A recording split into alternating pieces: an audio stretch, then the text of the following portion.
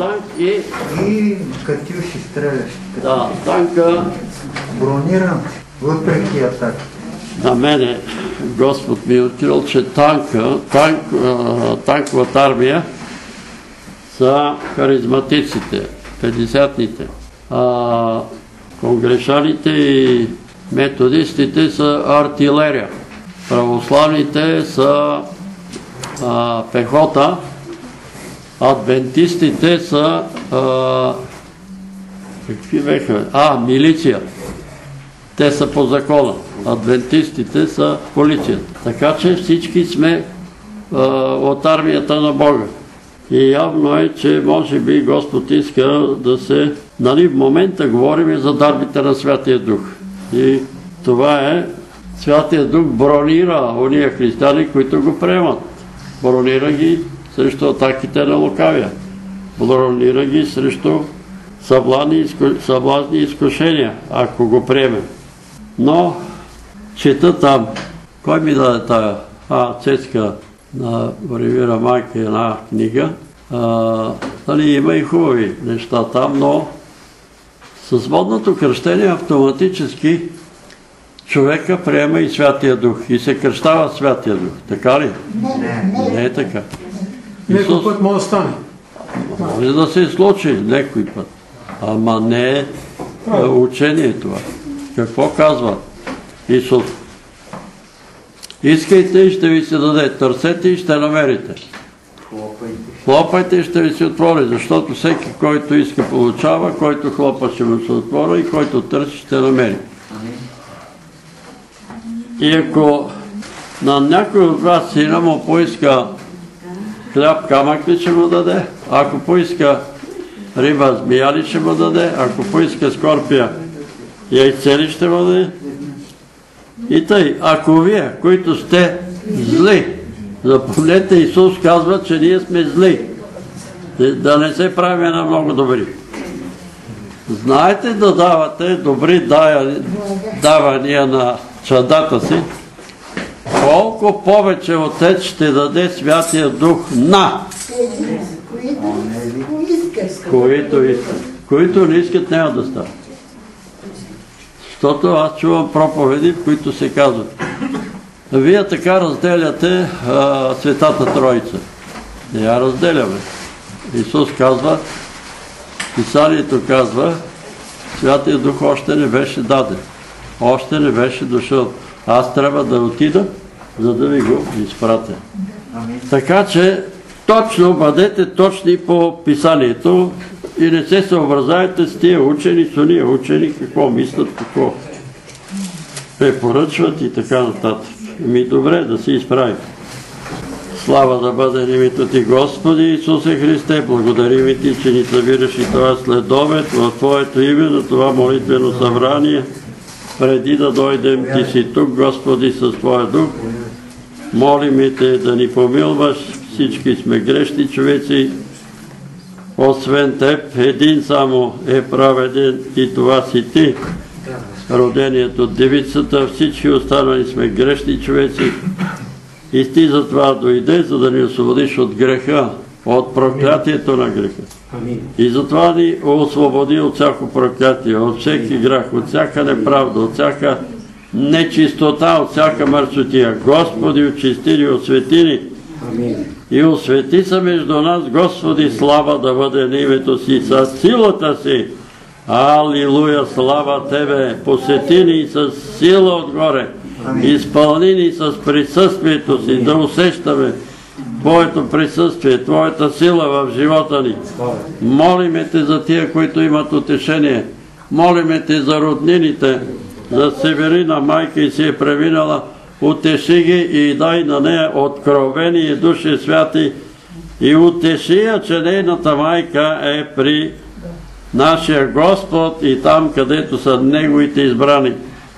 Молиме Те, Господи, за уния, които имат нужда от изобличение и изобличаване, които имат нужда от изцерение и изцеряване, които имат нужда от спасение и спасявай ни, Господи. Слава да бъде името Ти, на Тебе се надяваме, помогни ни, когато четеме, когато се проповядва Божието Слово, да бъде такова, каквото ти искаш, такова, каквото е, без изопачавания, без отклонения, но точно такова, каквото ти си го говорил и каквото ти си го проповядвал, когато беше тук на земята и искаш Амин. И ние да бъдем точни, без отклонение наляво и надясно. Пази ни, Господи, от еретици, от лъжеучители. Пази ни от вълци, облечени в общи кожи. Пази ни от тия, които внасят света по църквите, които правят църквите на сатирични и естрадни театри или драматични театри. Дома на Отца е дом за молитва на всички човеци и не е театър, и не е място за забава и за препирни и скандали. Господи, да не се превърнат църквите в България в разбойнически вертепи и ти да дойдеш с къмшика. Но те молиме, Господи, помогни ни на всички нас, които прекрачваме праговете на молитвените домове, да помним, че всичко в молитвения дом се освещава от онзи, който го обитава. Слава да бъде на името Ти. Благослови ни и помилвай ни, бъди между нас, души святи, ръковиди това събрание и ни дай Твоята благодат, Исусе, слава, чест и поклон на името Ти. Благослови нашите родственици, нашите роднини, благослови нашите сънародници по целия свят. Молим и пази България от катастрофални наводнения, катастрофални земетресения, катастрофални пожари. Господи, опази страната ни от лукавия. Молиме Те, опази домовете ни, семействата ни, близките ни. Искаме да бъдем под Твой контрол и под Твоя защита. Смили се за тежко болните. Помилвай ги, простри ръцете си, изцерявай тежко болните. Господи, слава да бъде името Ти. Поклон на святото Ти име. Амин. Може да седи. За Петя виждам една овчица. Бяла овчица. виждам.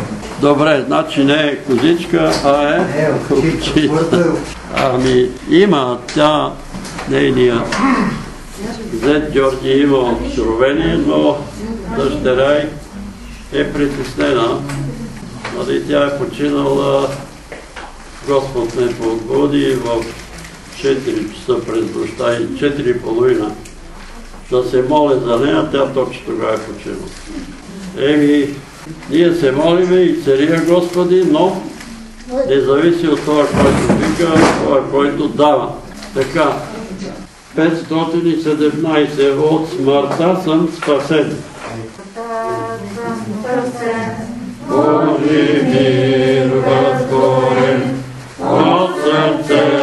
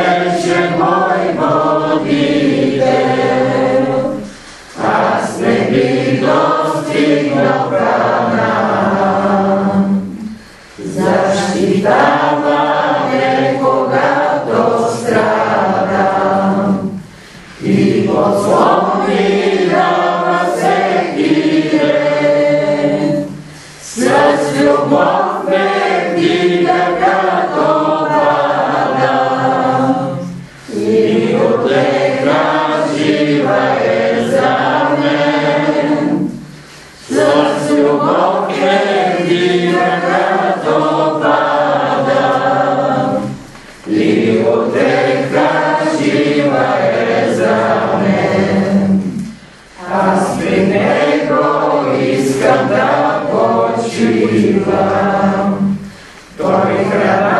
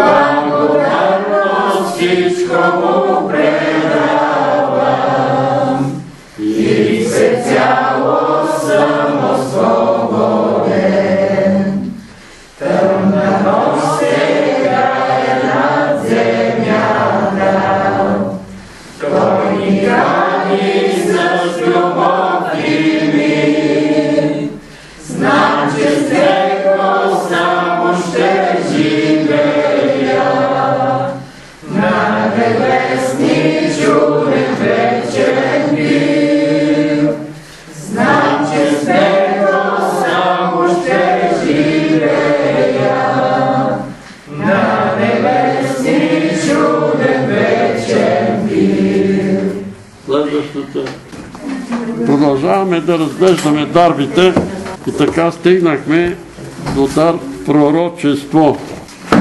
В Антиохийската църква имаше някои пророци и учители, именно Варнава и Симеон, наречен Нигер. Луци, Киринеец, Михаил са възпитаник на Ирода четверовластника и Савел. Когато те служаха на Господа и постеха, Дух Святи и каза, отделете ми Варнава и Савла за делото, за което съм ги призвал. Тогава те след като постиха и се молиха, възложиха ръце на тях и ги пуснаха. И тъй, изпратени от Духа Светаго, те слязоха Целевкия и оттам отплуваха за Кипър. И когато стигнаха в Саламин, проповядваха Словото Божие в юдейските синагоги, а имаха Иоанна за прислужник. Като преминаха целия остров до Пафос, намериха един магиосник, лъже пророк юдей на име Варе Исус, който се намираше у проконсула и Павла, мъж умен. Той като повика Варнава и Савла, пожела да чуе Словото Божие. А магиосник Елима, защото името му така се тълкува, се противеше на тях, като се стараеше да отвърне проконсула от вярата. Но Савел, който се нарича и Павел, изпълнен с Дух Свети, устреми върху, нему, върху му поглед и каза, О ти, който си пълен с всякакво коварство и всякаква измама, дяволски сине, враго на всяка правда, не ще ли да престанеш да изкривяваш правите Господни пътища? И сега ето ръката Господна е върху тебе. Ще бъдеш сляп и до някое време няма да вижда слънцето. И изведнъж падна върху му тъма и мрак и тъй, обръщайки се насам натам, търсеше водач. Тогава проконсулът, като видя станалото, повярва и се чудеше на учението Господне. Амин. Това е 13 глава от Деяния на апостолите. Тук виждаме проява на пророчески дарби, но и на лъжепророчески. Винаги трябва да помним, че зад всяка дарба има фалшиво имитация на дявола. Понеже богословите твърдат, че може и днес тук там да се яви някое пророчество, но те не били необходими. Според тях не са необходими, но за нас са необходими и затова апостол Павел казва, копнайте за духовните дарби и повече да пророчествате, и затова ние ще разгледаме сега и тази дарба за пророчеството. Най-голямия пророк, според свидетелството на Господ Исус Христос, роден от жена, е Йоанн Кръстител. Защото той говори за това, което е целта на Божието Слово и плана на Бога за спасение на човечеството и Той Спасител е нашия Господ Исус Христос. А роденият от девица е нашия Господ Исус Христос. Той е пък най-големия пророк въобще за всички времена. Ще разгледаме и само Марка 13 глава за събитията, които стават в момента. Пророчествата са необходими, ако не бяха необходими, нямаше да се даде цялото откровение нали, на апостол Йоан. И тази дарба е необходима за църквата, за да бъде народа Божий предупреден за събитията, които има да станат и които в момента стават. Сега чета разни откровения, че коронавирус го е създал дявола, за да смущава вярващите и не знам какви други пророчества. Няма сътворено нещо, на земята, което да не е сътворено от Бога. И самият дявол е сътворен от Бога. И нищо не може да стане, каквото и да става, без Божието допущение и без Божия контрол. Нека да е писано, че Бог е сътворил ковача, сътворил е и поговителя. Бог е сътворил поговителя и погубва които не желаят, не искат да се покаят. Ако искаме да не ни плаши коронавирус или каквото и да е друго нещо, пазете се от греха. Дявола, коронавирус, болестите немат власт над човека, който е очистен от греха, защото Господ е с него. Но ви казвам, че работата е в това, че много от днешните християни си живеят в греха. И ние знаеме от откровенията, а също така и от откровението, което на мен е дадено, че Божият ангел не може да присъства там, където има грех. Божият ангел се отделя от, този човек, който върши грех. Защото, по неговите думи, греха вони. Греха вони пред Божите ангели. И затова, за да бъдем чисти, за да бъдем защитени, трябва да се очистим от греховете. Как? Като ги изповядаме и оставим. И като им се противим. Тая седмица ми се обади един брат от чужбина. Ние се молихме за него, защото той беше вързан от дух на порнография. Не може да живее вече време, ако не гледа порнография. И Бог го развърза и го освободи. И една година или две години, не мога да не си спомням колко каза, е бил свободен. И миналата седмица отново е включил телевизора и пак е попаднал под властта на този демон. Под властта на този демон. Какво има да гледаме, обаче ние не го осъждаме, защото това е демон. Това не е само влияние картинки да гледате. И по същия начин младите попадат под различни такива демонични влияния. Политически застават на някоя партия, тия са най-правите, тия са най-великите, няма велик ни един. Велик е само Бог. Спомнете си какво каза Исус на младежата, учители благи. Защо ме наричаш благ? Само Бог е благ. Исус не позволи да го наричат благ. А ние, той е велик, он е велик. Колко е велик. И гледаме телевизията. Много велик евангелизатор. И сега всека деноминация си избрала по един велик евангелизатор и си го е направила идол. Една деноминация казва, нали, като ходил съм при тях и почти винаги така казва Спържан, така казва Спържан. И казвам накрая на пастира, бе, кажи какво казва Исус, бе. Спържан, аз ще го прочета какво е казал. Не, какво казва Спържан? За нас Спържан е нали, еталон. Друг казваше на времето 50 църква, какво казва Бранхам. Какво е казал Бранхам това е? Сега какво прави, какво казва Бенихим? Какво казва Бенихим? И си издигаме идоли и Исус е малко настрани или назад какво казва Исус. А ние трябва да казваме какво казва Исус, защото духът на пророчеството говори и казва, че Святия Дух какво трябва да ни каже? Всичко, каквото Исус е говорил. Това искам. Освен това трябва да ни извести и за бъдещето. Ние сме съгласни и за бъдещето. А кога дойде оня, духът на истината ще ви опъти на всяка истина. Защото от себе си няма да говори, а ще говори каквото чуе и ще ви възвести бъдещето. Той мене ще прослави, защото от моето ще вземе и ще ви възвестява. Той няма да прославя Петър Велев, няма да прославя Илия Миланов, няма да прославя Бенихим. Ще прославя Исус. Когато дойде Святия Дух, Той прославя Исус. Той прославя Исус, запомнете го. Немам нищо против тия брата и сестри, които Бог ги употребява.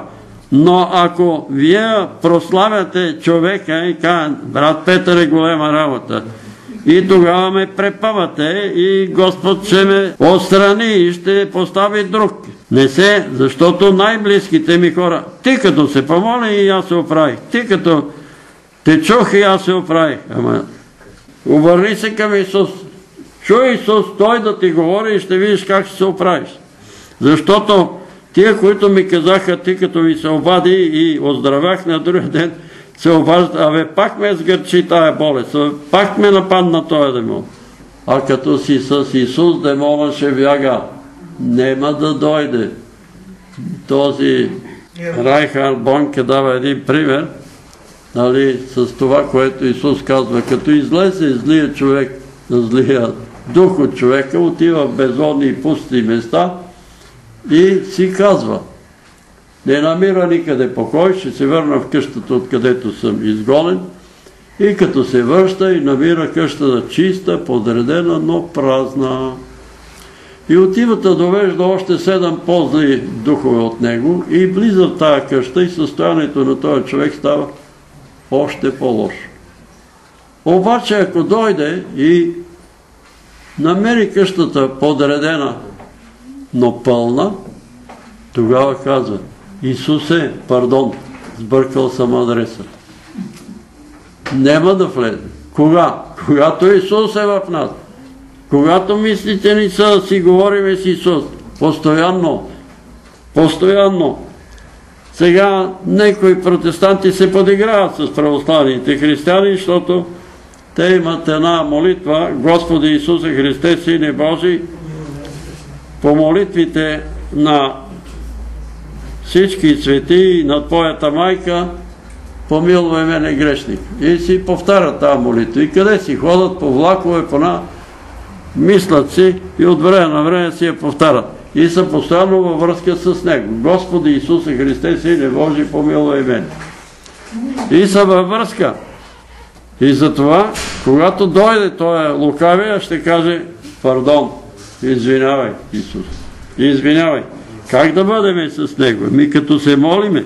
Някои учат, че след написването на Библията, пророчествата били прекратени или пък там в учебника по мисионерство пише, че пък можело и да има и днеска пророчество, но не били необходими. Не били необходими. Апостол Павел е на друго мнение. Стремете се към любовта, показвайте ревност за духовните дарби, особено за пророчествата.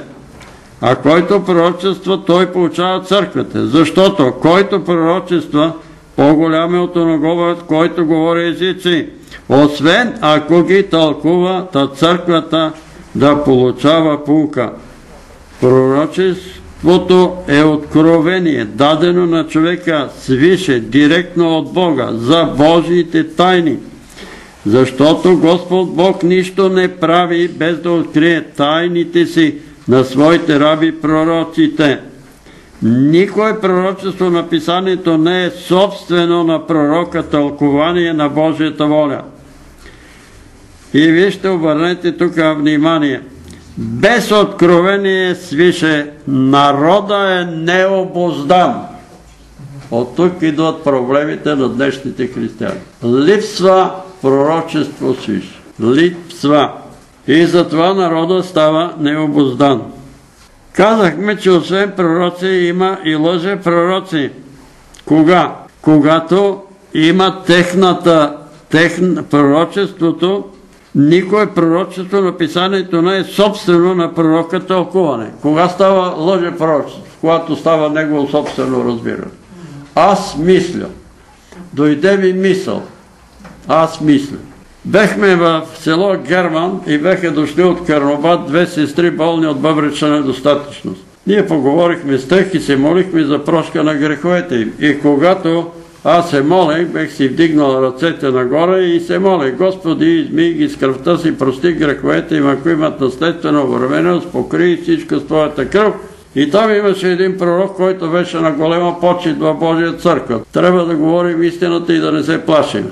И този пророк след като свърши молитвата, казва Виждам във видение, че както си дигнал ръцете брат Петър Велев, в лявата му ръка се влива един сноп лъчи. Видението е вярно. Аз усетих, когато си бех дигнал ръцете, че в лявата ми ръка се вливаше сила. И тая ръка минаваше, от тая ръка, през ръката ми, тая сила минаваше през цялото ми тяло. Той вижда видение. И то е вярно. И то е от Господ. Следващата му обаче, следващите му думи са Затова, брат Петре, Бог ти заповядва да полагаш ръце за изцеление на болни само с лявата ръка.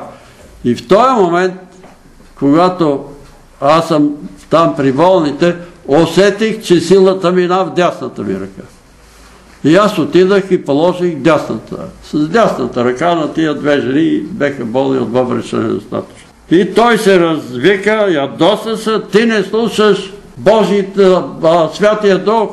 Святия Дух ти казва да полагаш с дясната, да, с ръка, а ти полагаш наопак и с дясната ръка. Затова Господ ще те накаже и ти ще загинеш като Бранхам от автомобилна катастрофа. Но той не знаеше истината. Вие разбирате ли, че когато Господ е с нас, той лъже пророка не може да мине. Той се опитва, той лъже пророчески дух. И аз му казвам, брат ми, ти сега лъжеш, ти говориш от себе си. Господ не ти е казал. Не, Бог ми каза. Не, Бог ми каза. Ще видиш, вика, че загинеш от катастрофа, от автомобилна катастрофа. След няколко дни наистина беше направен опит пред моята врата в младост да бъда ударен, нали, с инценирана автомобилна катастрофа и още един път на Константин Величков, но и един и втория път катастрофите ни минаха, а нашия брат пророк внезапно почина. Защо? Защото говори от себе си. Защото говори и Святия Дух казва. Затова внимавайте, ако имате пророчество, ако да имате откровение, виждам това, виждам стол, виждам самолет. Панчо вижда танк, другия вижда, не знам, нещо друго. Говориш, но не говориш от името на Бога. Господ казва, ако Бог ти каже, кажи го, защото иначе пострадаш. Ето избрахте сине човешки, говори Господ за Езекил. И какво му каза? Ако видиш некой човек, че го грози смъртна опасност и ти не го предупредиш и той ще умре заради греховете си, но кръвта му ще изискам от главата ти, защото не си го предупредил. Ти си видял и не си го предупредил. Ако обаче ти го предупредиш и той не те послуша, той ще умре за греховете си, но ти си избавил душата си. Ако той те послуша, макар и да съм казал, че този човек ще умре, ако те послуша, той ще живее. Той ще живее. И в моя живот имаше един такъв случай. Сънувам сън, че се намирам на разклона на подбалканското, подбалканския път между пътя за Долно Камарци и пътя за Горно Камарци, точно там, в полето, е изкопан трап и там идва един мой съученик и ми казва, а двама души стоят там пред този трап. Ако някой го познава, проповядваше на Бачо Киров, църквата беше претъпкана и отвънка по коридора, по тротуара имаше хора идваха там от доброволния отряд да ни пъдат. Беше много добър проповедник. И аз извиках двамата. Нали, а този моят ученик ми казва, понеже те двамата са представители на кръста, а аз съм представител на петолъчката, те двамата ще бъдат ликвидирани и ще умрат. И аз ги викам двамата и им казвам. Единия отиде и се скри некъде в някаква вила и два месеца го нямаше. А другия се качи на вълна и казва, другата неделя ще продължим, ако е Божията воля. Ако пак Бог е решил да ме привере, аз съм готов. Тръгва от Бачо Киро, пада там при Пирогов, карват го вътре и умира. И след като той си отиде, аз го сънувах и казвам, брате, как си там? Много съм зле непрестанно вали огнен дъжд върху главата ми. Той е много добър, голем проповедник казва, че защо кръвта е върху главата му. Грозеше го смъртна опасност. И ето вижда, че аз нито му знам работата, нито, но той не повярва. Той каза, аз съм готов, ама не е готов. Затова, когато имате някакво предупреждение, обърнете внимание – Обърнете внимание, Господ не ги дава така случайно тия работи. Димитроград се молиме за един брат. Събрали имаше конференция на Божия църква и пастырите всички са се събрали и аз съм там и викаме на този брат. Вярвай бе, брата бе, само вярвай, Бог ще те дигне бе, Бог ще и цари бе, Бог е обещал. Бог е обещал. Обаче едно момченце влаче един стол към този брат, дето се молим той се нал на един стол и той носи един стол и служи стола до този наш брат, качи се на стол отгоре, това момче беше толкова, качи се и вика, дядо, влезна един ангел и каза, Антоне, кажи на дядо ти, че няма да бъде изцелен може да вика тия пастири до сутринта. Той няма да бъде и царен, защото не е изповядал греховете. И това дядо и кажи му, че ще умре.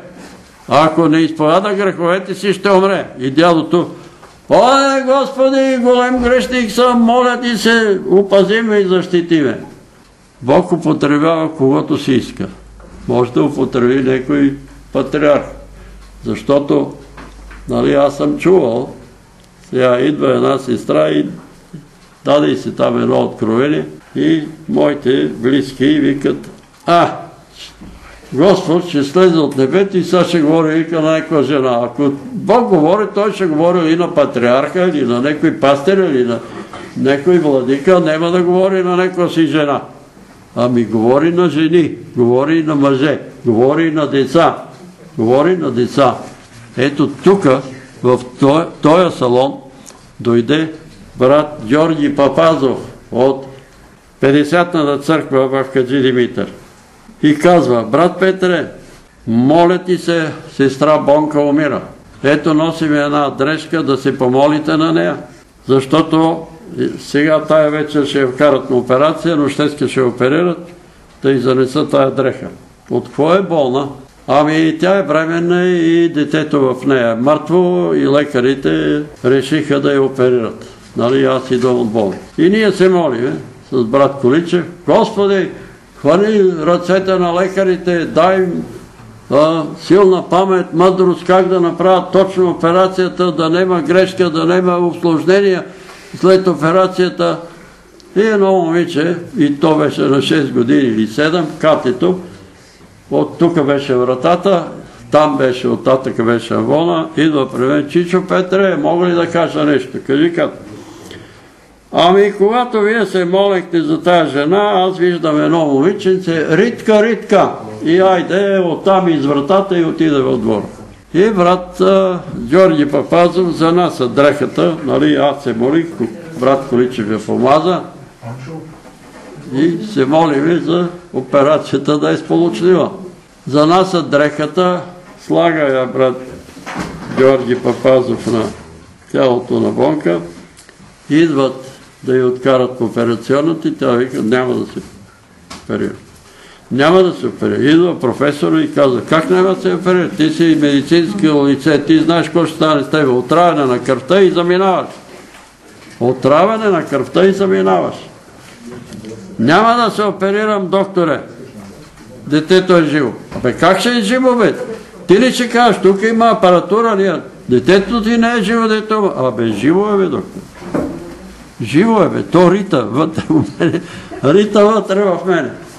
Това детенце се роди, момиченце, нали, аз го видях вече на 5-16 години, нали, когато майка му каза, ето го това, дето беше умрало и оживя.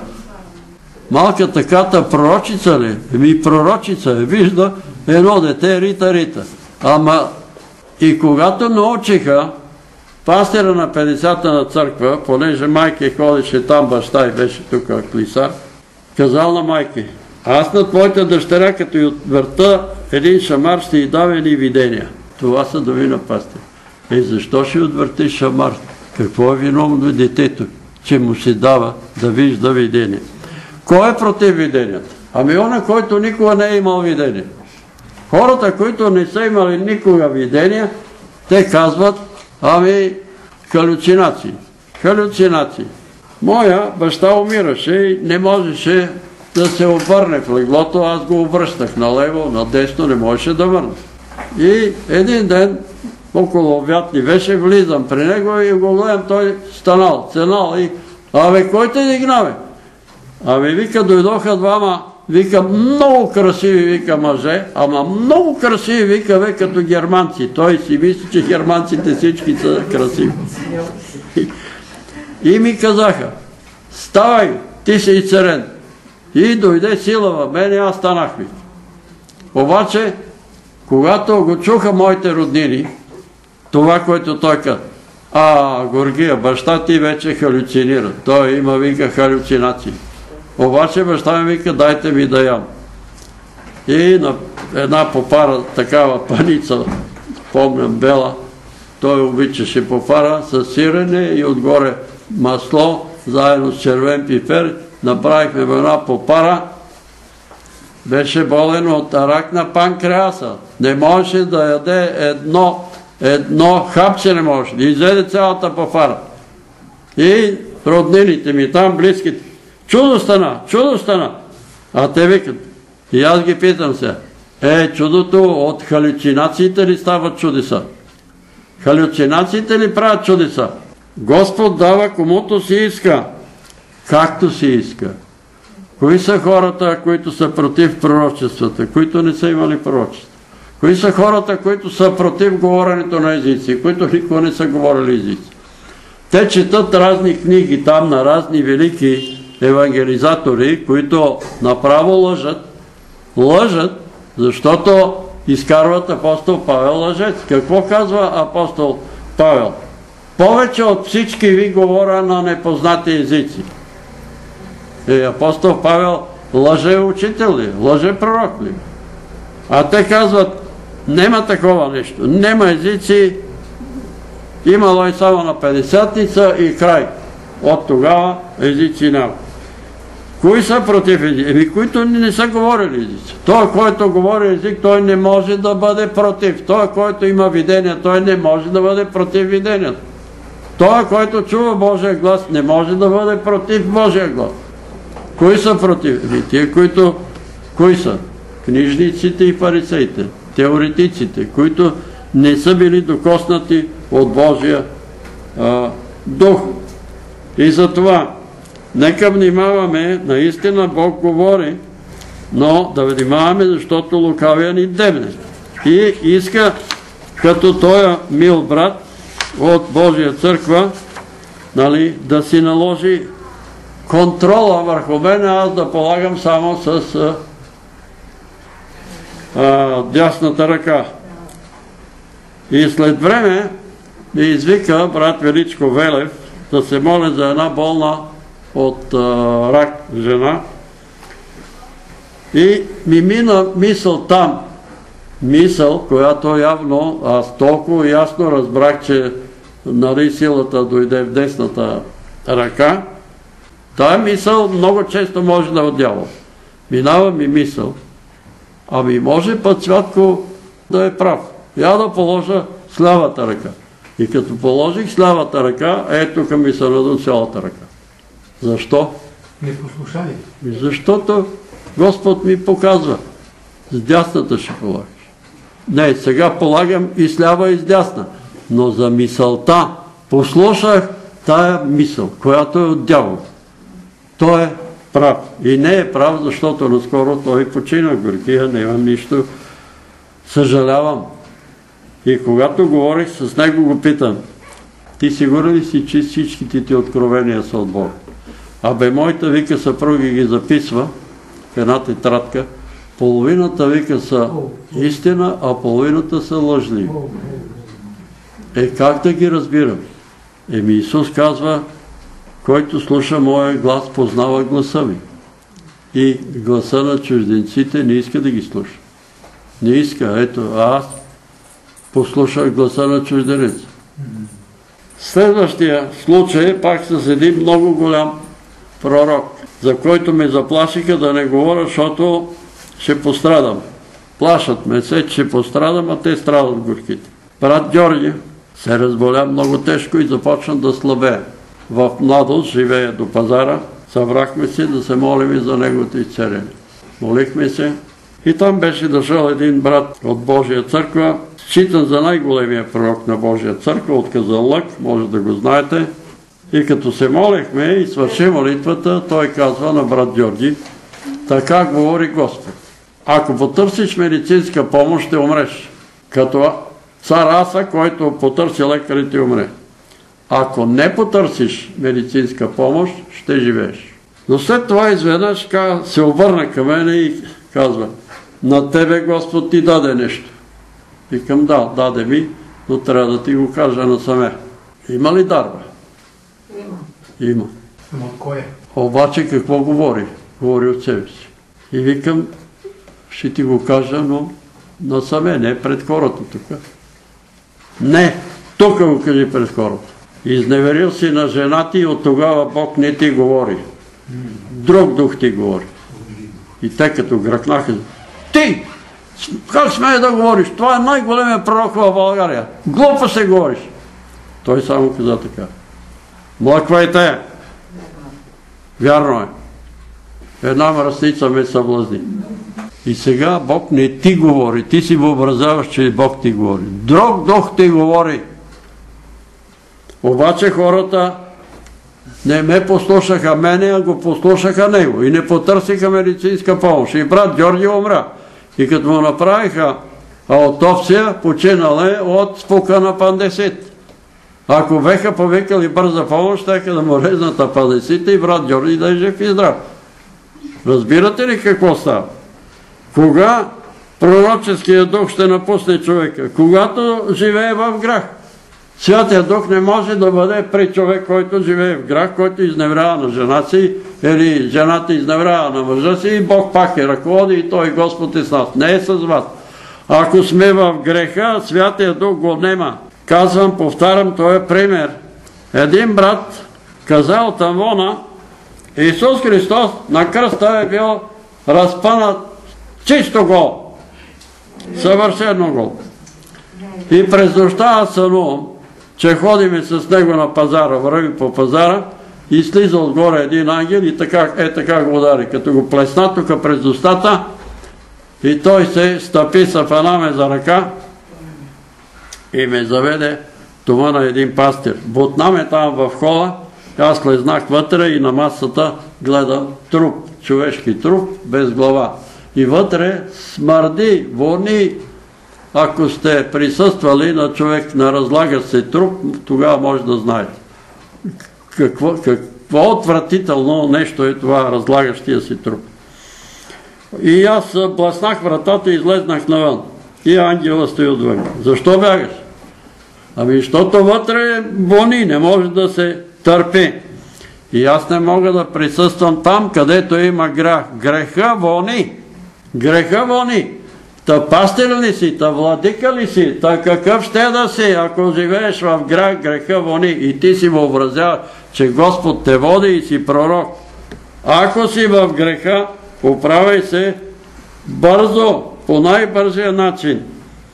Казвам тия примери, тия човеци естествено ще си застанат. Този брат, който го удара ангела през устата, се разболя от рак на белия дроб. След дълги страдания, беше накрая вече Господ го и цари. И го върнава. После живея още около 20 години. Затова внимавайте какво говорите. Не си измислите да сте много оригинални, нали, да кажете нещо, което е много оригинално, за да впечатлите хората. Едва ли има човек със здрав разум, който последно време да не може да разбере, че земетресенията, борите, ураганите, пожарите, бедствията по целия свят рязко се повишава. Рязко се повишава. Аз знам какво беше преди 50 години, знам какво е сега. Трябва да ви кажа, че адвентистите от 100 години насам изследват, изследват колко катастрофални земетресения, наводнени и бури е имало през тия години на 10 години, на 20 години едно земетресение. Сега така ли е? Едно наводнение на 10 години, некъде си. А сега всяка година. Всяка година наводнение, всяка година. Какво става? Изпълняват се пророчества. И ще дойде денът Господен, както крадец. Идва нощем. Тогава небесата с шум ще преминат, стихиите ще пламнат и ще се разрушат. И земята и всички неща по нея ще изгорят. Това е пророчество дадено на апостол Петър. Когато го е казал, едва ли е имало некой да знае, че стихията, думата стихия е гръцка дума и означава елемент. Елемент Това е идването на Господ. тя се казва на гръцки декаосомай. Коосомай. Елемент или начало. Начало на нещо. И така, това изречение на гръцки преведено горя, изгарам. Тук, ако някой го интересува, всичките думи на гръцки съм ги извадил. Така, А сега, разбираме ли, че ако елементите се разпаднат и пламнат, какво ще стане с живота на земята? Всичко ще изгори. Ще се изпълни това пророчество. Ама не, ние то може да се молим Бог да го отмени. Дали ще го отмени? Може да го отмени. Може, ако хората се покаят. Каят ли се хора? Не се каят. Не се каят. Не се каят и ще се изпълни това пророчество. Брат Петре, абе, Деня Господен за какво се отнася? Моля? Деня Господен, нали не е второто пришествие, а вече изгарянето на земята? Изгарането на земята. Не, второто пришествие тук също ще говорим и по този въпрос в а, 13 глава ще прочетеме, защото се проповядва от харизматичните християни, че малко преди да дойде Антихрист, малко преди да настане голямата скърб или малката скърб, сега пък се измислили, че е имало малка скърб и сега сме били в малката скърб, а като дойде Антихрист, ще дойде голямата скърб. Тогава Господ ще ни грабне и ние отгоре ще наблюдаваме нали, какво става на земята. Но ние ще прочетеме 13 глава и ще разбереме, че не е така. Че ще стане тогава, когато стане първото възкресение. Когато апостол Павел казва, че мъртвите в Христа Исуса ще изпреварат живи. В Христа Исуса. Само те ще възкръснат.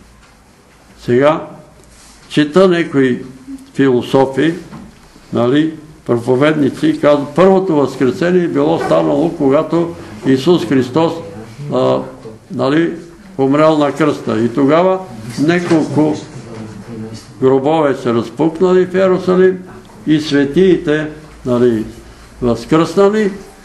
И от светите първо, а, не първоапостоли, а светите Константин, свети Константин и Елена, когато религията става нали, свободна, държавна, от тогава започва хиляда годишното царство. И аз ги питам тия професори. Вярвате ли, че от тогава е минало хиляда годишното царство? Еми да, е, по това време лъва ядеше ли трева като вол?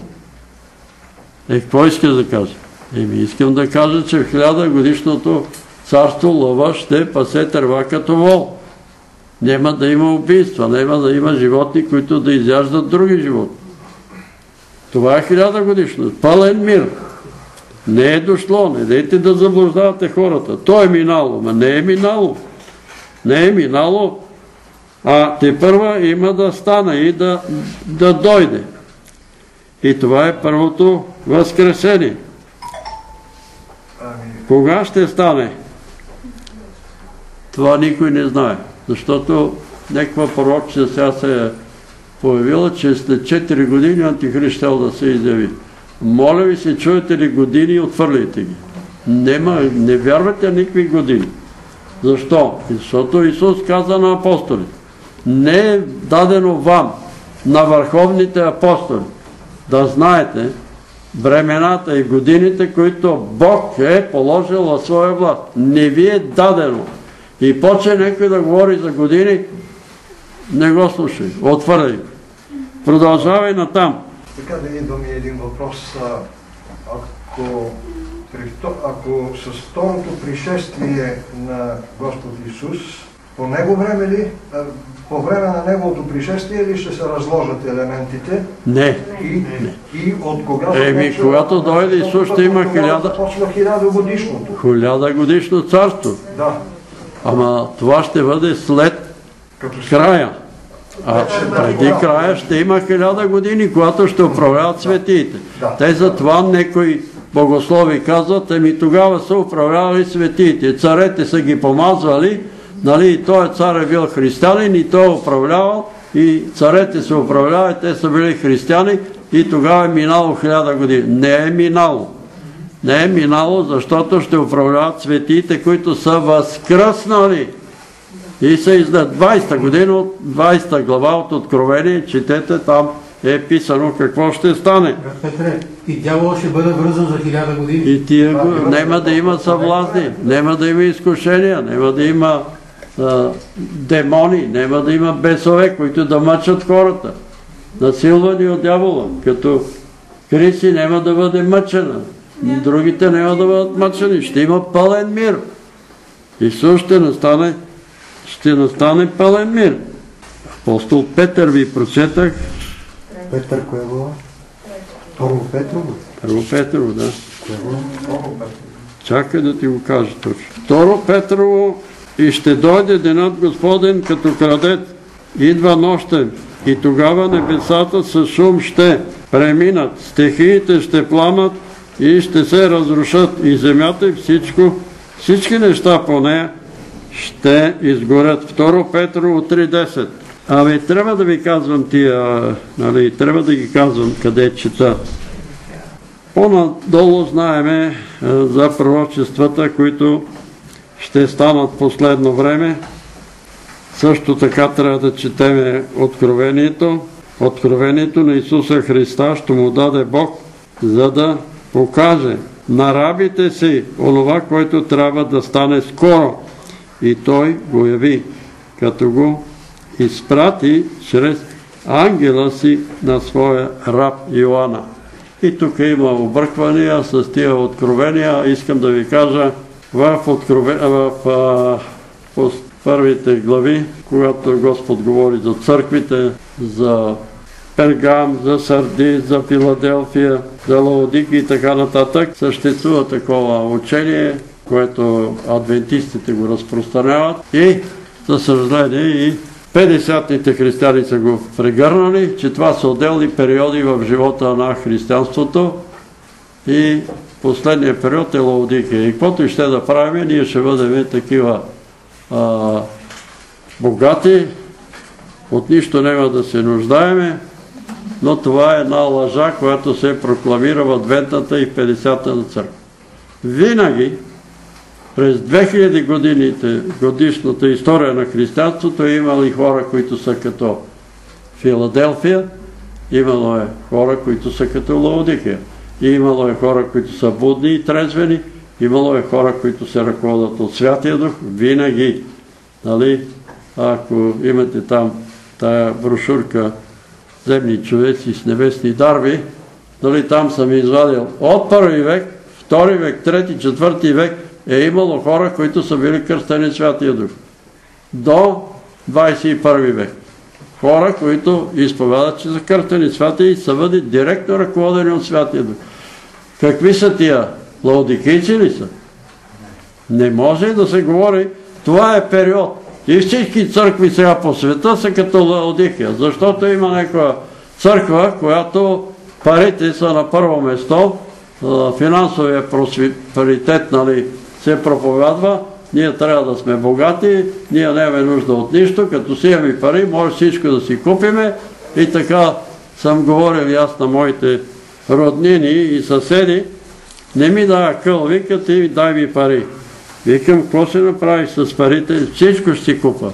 Здраве ще си купиш и да, ще си купа. Ще си купа. Като имам много пари, ще отида да ме лекуват в Париж или в Америка на професори ще ме излекуват. И като се разболяха, тия хора ги питам, сега имаш ли нужда от пари? Могат ли парите да ти помогнат? Не могат, вика. Не могат да ви помогнат. А хората се заблуждават. И така, ние ще погледнем и това, което ще става в последно време, защото се подбизават лъжепророци и плашат хората и пишат цели томове и се разпространяват тия лъжи, че утре ще дойде Исус, че други ден ще дойде, а ние ще я прочетеме цялата глава. Коя? И 13 глава от Евангелието от Марко. Нали? За пророчество за последното време. И когато той излизаше от храма, един от неговите ученици му казва, Учителю, погледни какви камъни и какви здания. Исус му отговори и рече, виждаш ли тия големи здания? Няма да остане тук камък на камък, който да не бъде сринат. И когато седеше на Елеонската планина срещу храма, питаха го насаме Петър, Яков, Йоан и Андрей. Кажи ни, кога ще бъде това и какъв ще бъде беликът, когато всичко това стане? Отговаряйки им Исус, почна да говори, пазете се да не ви преласти някой. Защото мнозина ще дойдат в Мое име, говорейки, че съм аз, и ще преластят мнозина.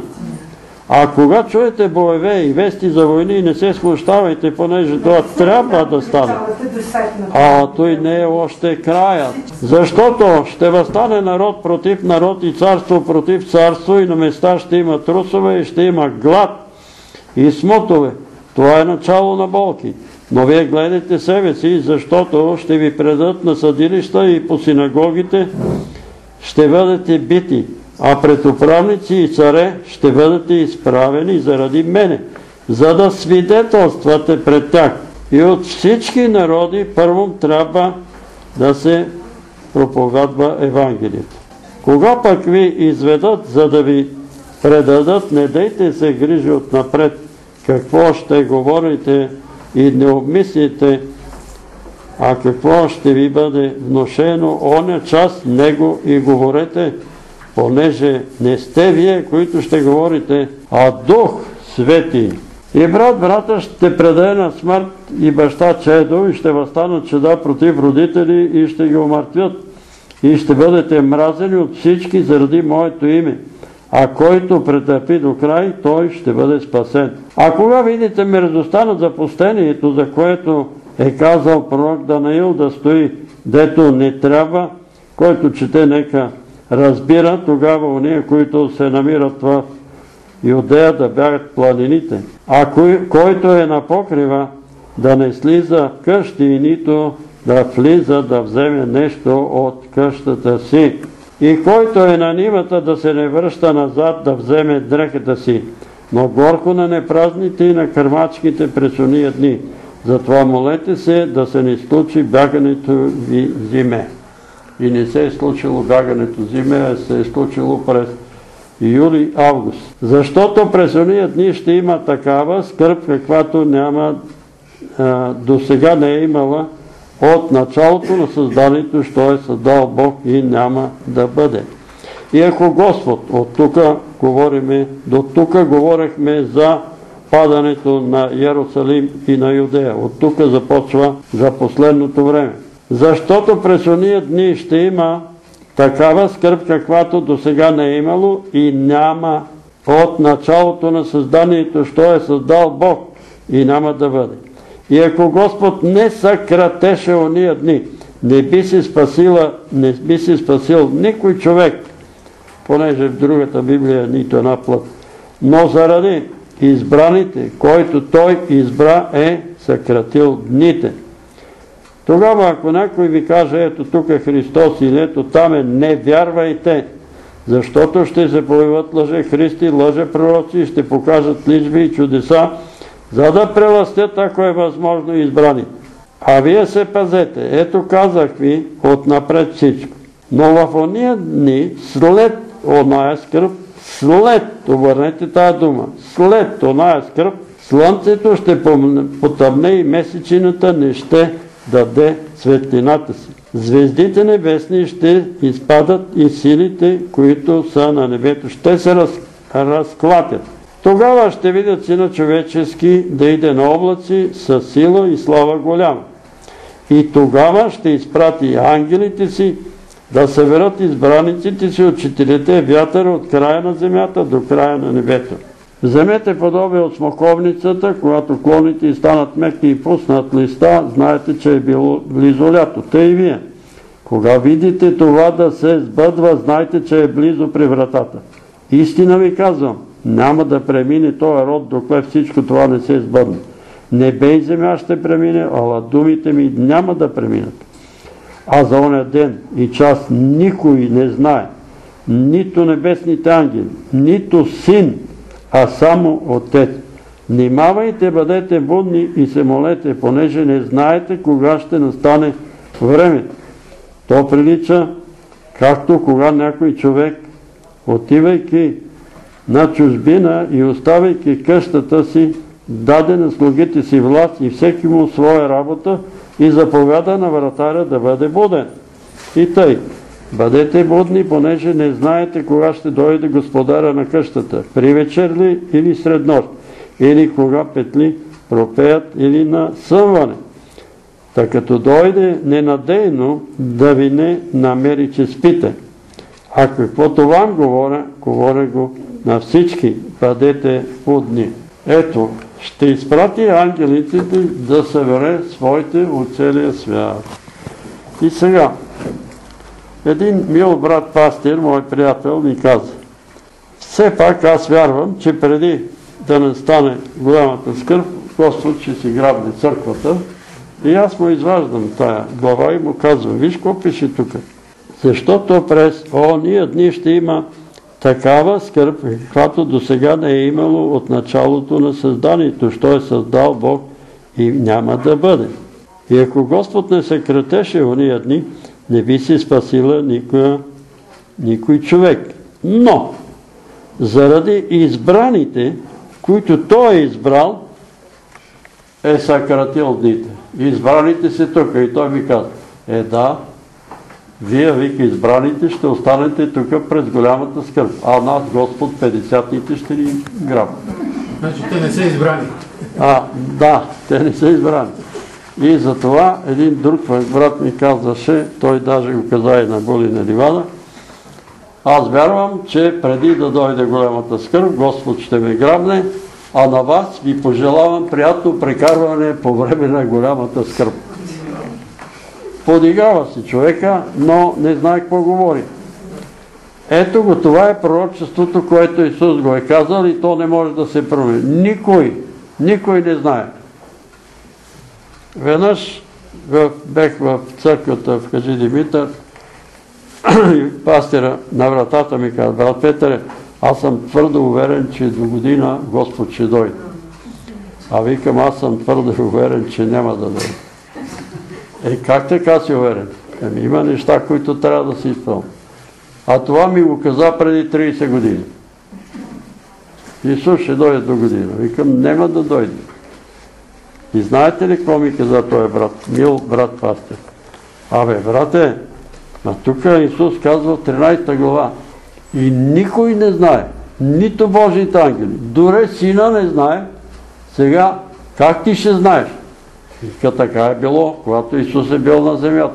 Но когато отишъл на небето, Бог Отец му е казал, вика, и сега той може да ми каже на мен и аз да знам. Но той брат си премина Царство Небесно, за него може тая година да е била.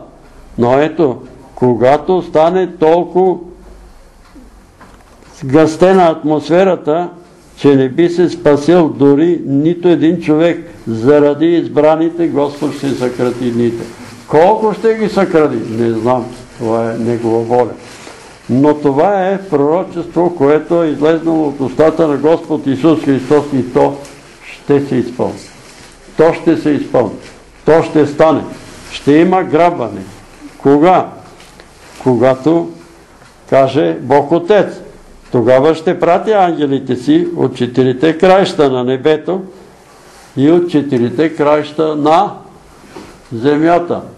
Има, обърнете внимание, не е само от четирите краища на земята, които са живи, но ще събере уния от небето, неговите.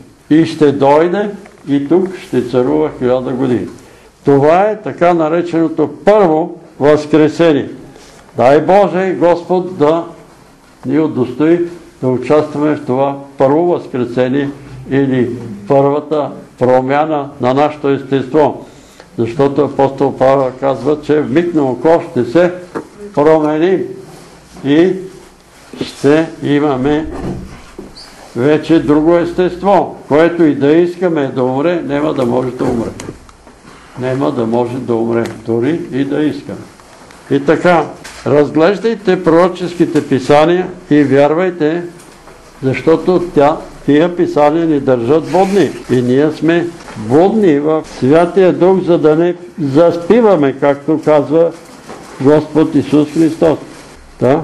А, нали, това, което е много тежко положение, което заради избраните да могат да издържат, ще съкрати дните. Това е управлението на Антихриста. Какво заради избран? Не те Това е тук четеш, че толкова тежко ще стане, че ако нали, Господ не съкрати дните, няма да могат да издържат. А по времето на... а не е само това, може да е толкова тежко, че ние виждаме какво става. Тия, нали виждате какво става сега с тия наводнения по Италия, по това къщи заминават, коли, човеци, по пожарите там, цели колко градове, 10 000 градове беха унищожени. Е, Ние тия неща като че не ги забелязваме, но си има значение. Защо там? Господ знае защо. Той знае защо. И ние знаем защо. Защото казва, че ще очисти земята от това извратено и нечестиво поколение.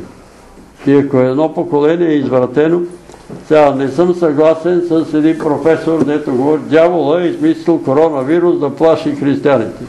Дявола ли го измислил? Какво става? Защо станаха тия коронавируси и тия неща? Сега има ли гей парад? Има ли в София гей парад? Москва има ли? Париж има ли гей парад? Еми нема. Защо? Ами защото ще очисти земята от тия буклуци. Сега ние се молихме тук за един Тодор в Испания, който е, беше обратен. И аз им се обадих се, им казах да се покая, да иска Господ да му прости. Ако не се оттърве от тая гносота, направо заминава зада. Ние се молиме, ама Господ няма да ни чуе. Ама най Бог е милостив. Ама Той е милостив, ама иска да се покаеш. И вчера ми се обадиха, Тодор си завина, почина. Нема да бъде изцелен. Бог иска покаяние, оставяне на греха. Оставяне на... Ние трябва да бъдем и милостиви, жалостиви, защото плаче един брат от Италия, плаче и казва, не мога да се отърва, молете се, молете се от тая порнография, не мога, бе, кой има да гледаш тия гносоти, бе, свърли го, бе, унищожи го този телевизор, бе, изхвърли го, бе, право на таминушка, че го е, че го е направил. Абе, махай го това, не го гледай това буклук, бе, не гледайте тия буклуци, бе. И плаче по телефона. Моля ви се, молете се за мен. Не мога да се отърва. Не мога. Защо? Ами, защото е вързан. Защото го държи такъв демон. Друг е вързан в друго отношение. В наркотици. Не може, не може. Друг в алкохола. Не може. Ние сме... Трябва да бъдем милостиви. Друг некоя там жена е проститутка. Ние трябва да разберем, че те са вързани, те са обладани, те не могат, трябва да им се помогне. Трябва да бъдем и милостиви към тях. Но трябва да знаят и те, че трябва да съпротиват до кръв. Не сте се съпротивили до кръв. И това, което най-много в тия гнусни грехове, дявола лъже хората от срама, защото ги е срам. И той брат от Италия казва, че е там един католически свещеник, нали, му казал, абе, не мога ви, ето моля се, но не мога да се отърва. И той му казал, моли се на Света Богородица, тя е поборница над бесовете, тя ще ти Какво? Да се моля на Света Богородица. Аз с тия порнографски гносоти, как се моля на Света Богородица? Абе, моли се ви човек, бе. И вика, като почнах да се моля за нея, на нея и вика, освободи ме Господ. Освободи ме Господ. Как може да се... Той вика, срам и позор. И така, че ще се изпълнат пророчествата. Искаме, не искаме, ще станат. Но не дейте се фаща на лъжливи пророчества. Утре ще дойде Исус, други ден ще дойде. Никой не знае. Никой. И сина не знае. И ангелите не знаят. И ако някой ви говори кога ще дойде, кажете му да си гледа работа. Ако говори за години, нали, сега някаква сестра тук, не знам в коя църква е казала, че след 4 години Исус идва. Лъжа е. Направо директ това, което чуете, това откровение, направо отвърнете. Нема да стане след 4 години. Утре може да дойде. Други ден може да дойде. Но няма да стане след 4 години. ще стане, когато Бог Отец каже. Той ще съкрати дните. Той по Неговата воля, дори не по волята на Исус, а по волята на Отец, Той ще каже. До тук. Стига. Стига. Но трябва да се изпълнат неща, които трябва да се построи храма, трябва да дойде антихрист, трябва да се обърка света, а той натам отива. Вижте, по целия свят стават бъркоти. По целия свят стават бъркоти, в България също. И в Беларус, и в Русия, и къде ли не, навсекъде, в Америка стават, ще станат бъркоти и трябва да дойде черния кон. А черния кон е белек на анархията. Трябва да настане анархия. И когато настане тая анархия, ще се яви един, който ще има силата и властта на Сатана. Той трябва да бъде роден също от девица. Защото евреите няма да го приемат. Значи, казвам една история. Една сестра от Варна казва, брат Петри, що не се ожени за майка ми? Вика, майка ми е девица. Е, как ще е девица, нали те е родила? Еми, девица е. Тя е забременяла инвитро, извадили са я от корема, а тя си е девица. Е, от така девица ще се роди антихрист. И тя е девица. Тя ще бъде девица. И, нали, макар че светиите я наричат нимата девица. Но, нали, верно ли е, Панчо, че има такива девици, които са раждали и са си останали девици. Сега с тия инвитро и така. Има случаи, при които Моля? те, тези не са девици, но има случаи, при които жените им възстановяват химена. И Е, това си е отделна работа. Това си чувал съм и аз, че тук, за съжаление, за съжаление са отивали в Германия да ги оперират, за да минат за девици. Пък брат Христо има па друго откровение, ама не ги говорете тия гнусоти. Не ги говорете.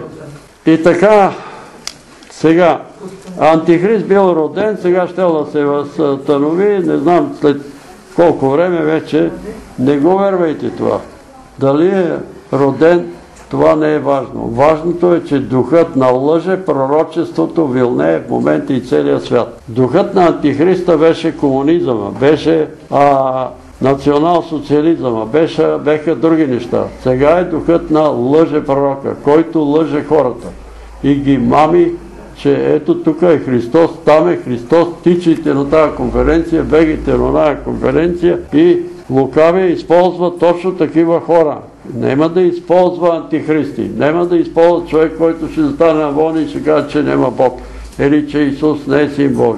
Той ще използва хора, които с дарби, с дарби, пророци, които са се съгласили да станат лъже пророци. И затова ние трябва да сме наясно и да внимаваме, защото пророкът трябва да сочи на Исус, не на човек. Пророк, който ви каза Петър Велев, идете при него, той се моли, че не му вярвай. А пророк, който ви каже, идете при Исус. Дошла една сестра при брат Димитър Количев и му казала, ходих при Илия Миланов, моли се нищо. Ходих при Петър Велев, моли се нищо. Сега идвам при тебе. А той казал, и при мене се е нищо. Защо? Защото трябва да отидеш при Исус. Трябва да отидеш при Исус, а не при мен.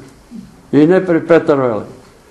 И някои от вас беха в, на Сточна гара, когато дойде една сестра там, застана на пътек и така. Ходих при Илия Миланов и не ме цари, и при тебе идвах и ти се моли, и пак не ме.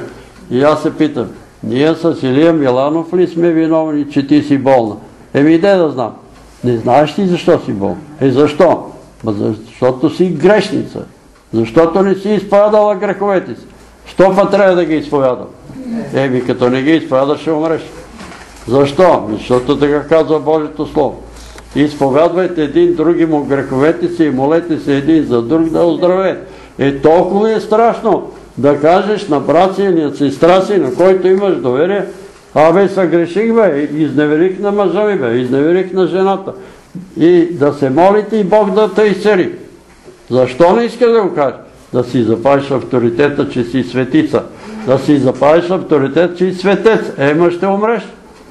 Ще умреш, това е истината. Не искам да си, е като не искаш, умираш. Ние сме свидетели на такива хора миналата година. Над 10 души бяха и царени от рак. И това е отговор. Изневери ли на мъжа ти? Изневери. Бог го изцели. Ти изневери ли на жена си? Изневери. Бог го изцели. Това е.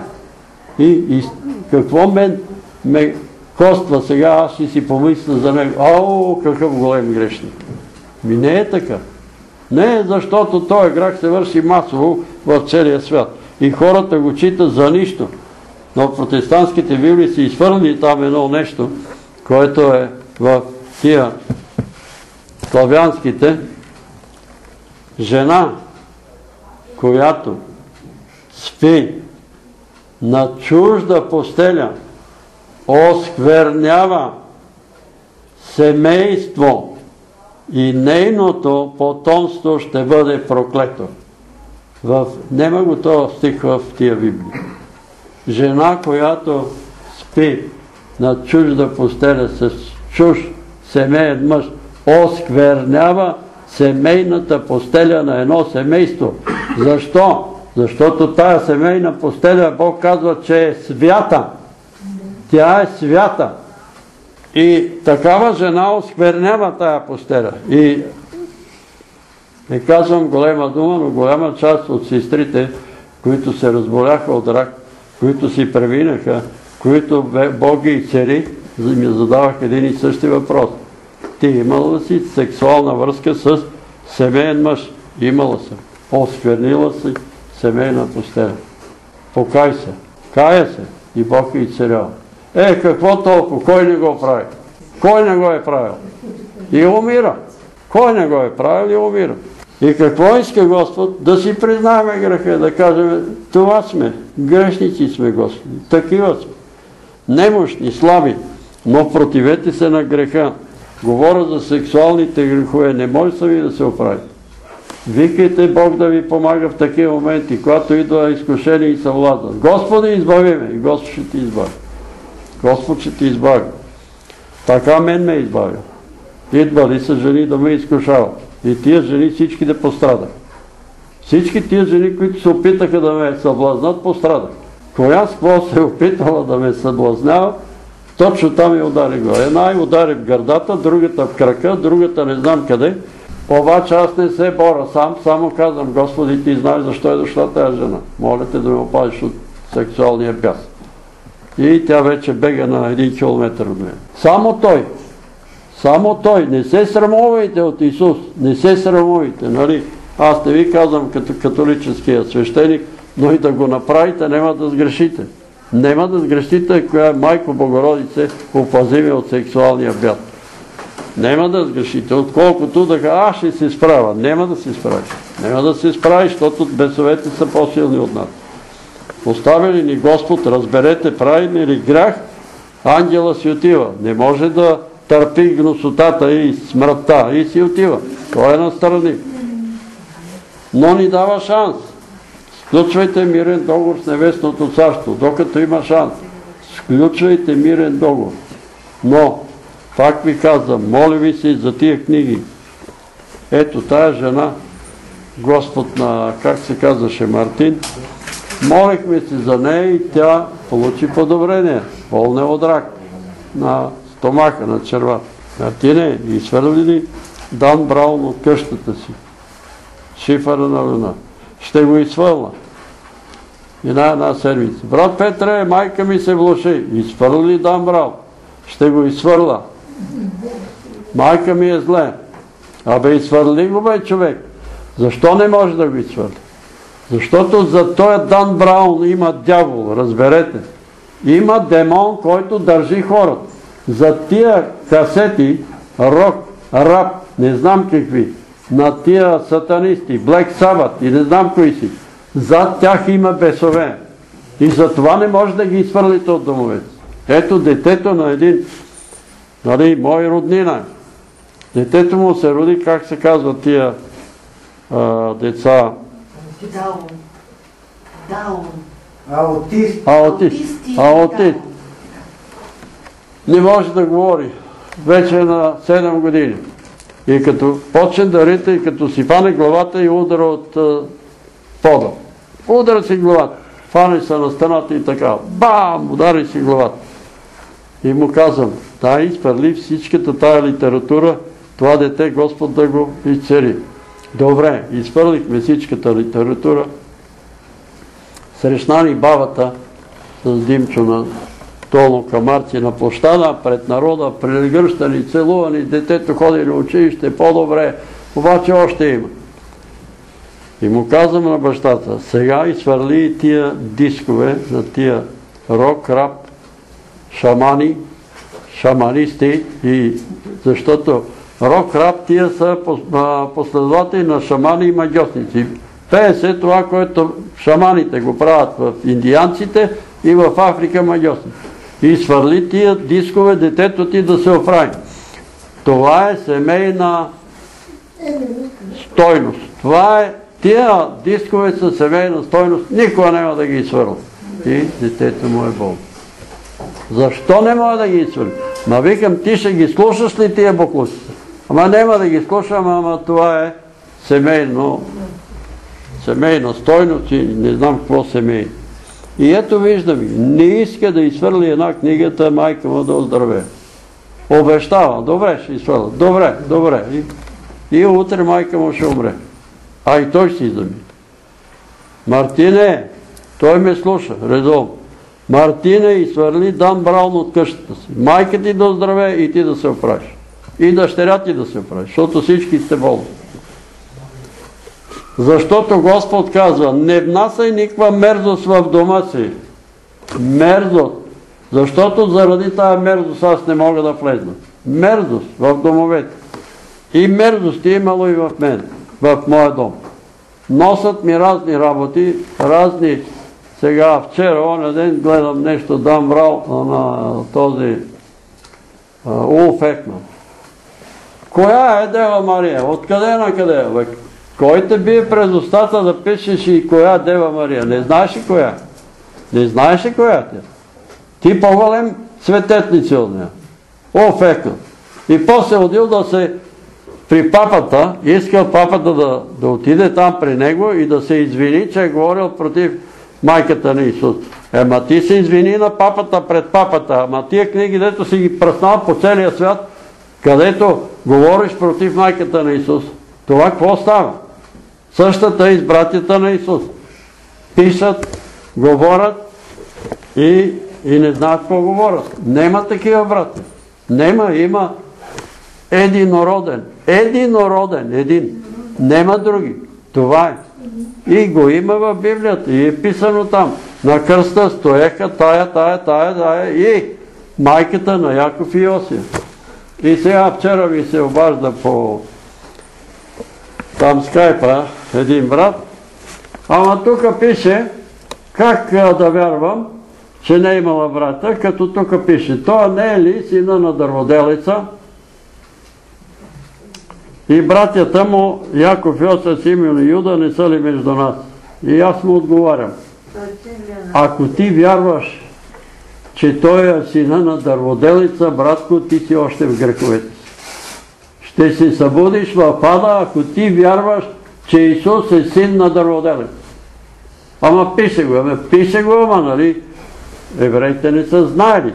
Ама ти знаеш, ама твоя пастир знае. И затова е без оправдание, защото той знае, че той не е син на дърводелец. А се защищава с този стих. Ами тук пише, вика, че е син на дърводелец. То пише. Ама кой го казва? Кой го казва? Ама кой го казва?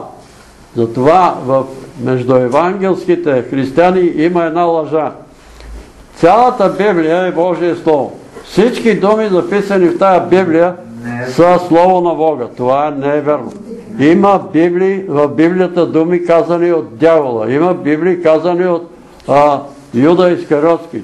Има Библии казани от юдеите, които казаха, то апостол Павел и Сила говорят лъжи. Е това Слово Божие ли? Това Божие Слово. Те говорят, че апостол Павел и Сила говорили лъжи.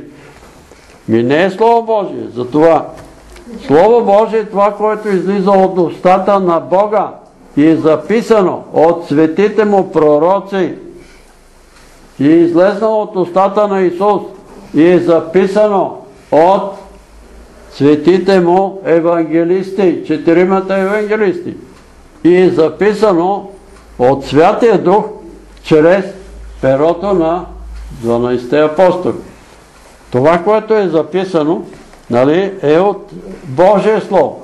Но има Слово Божие, което е от човеци, които са съпротивлявали, които са говорили неща. Ето, ние четеме, прочетахме 13 глава нали, от Деяния на апостолите, там имаше един лъже пророк. Сергий. Какво говореше той?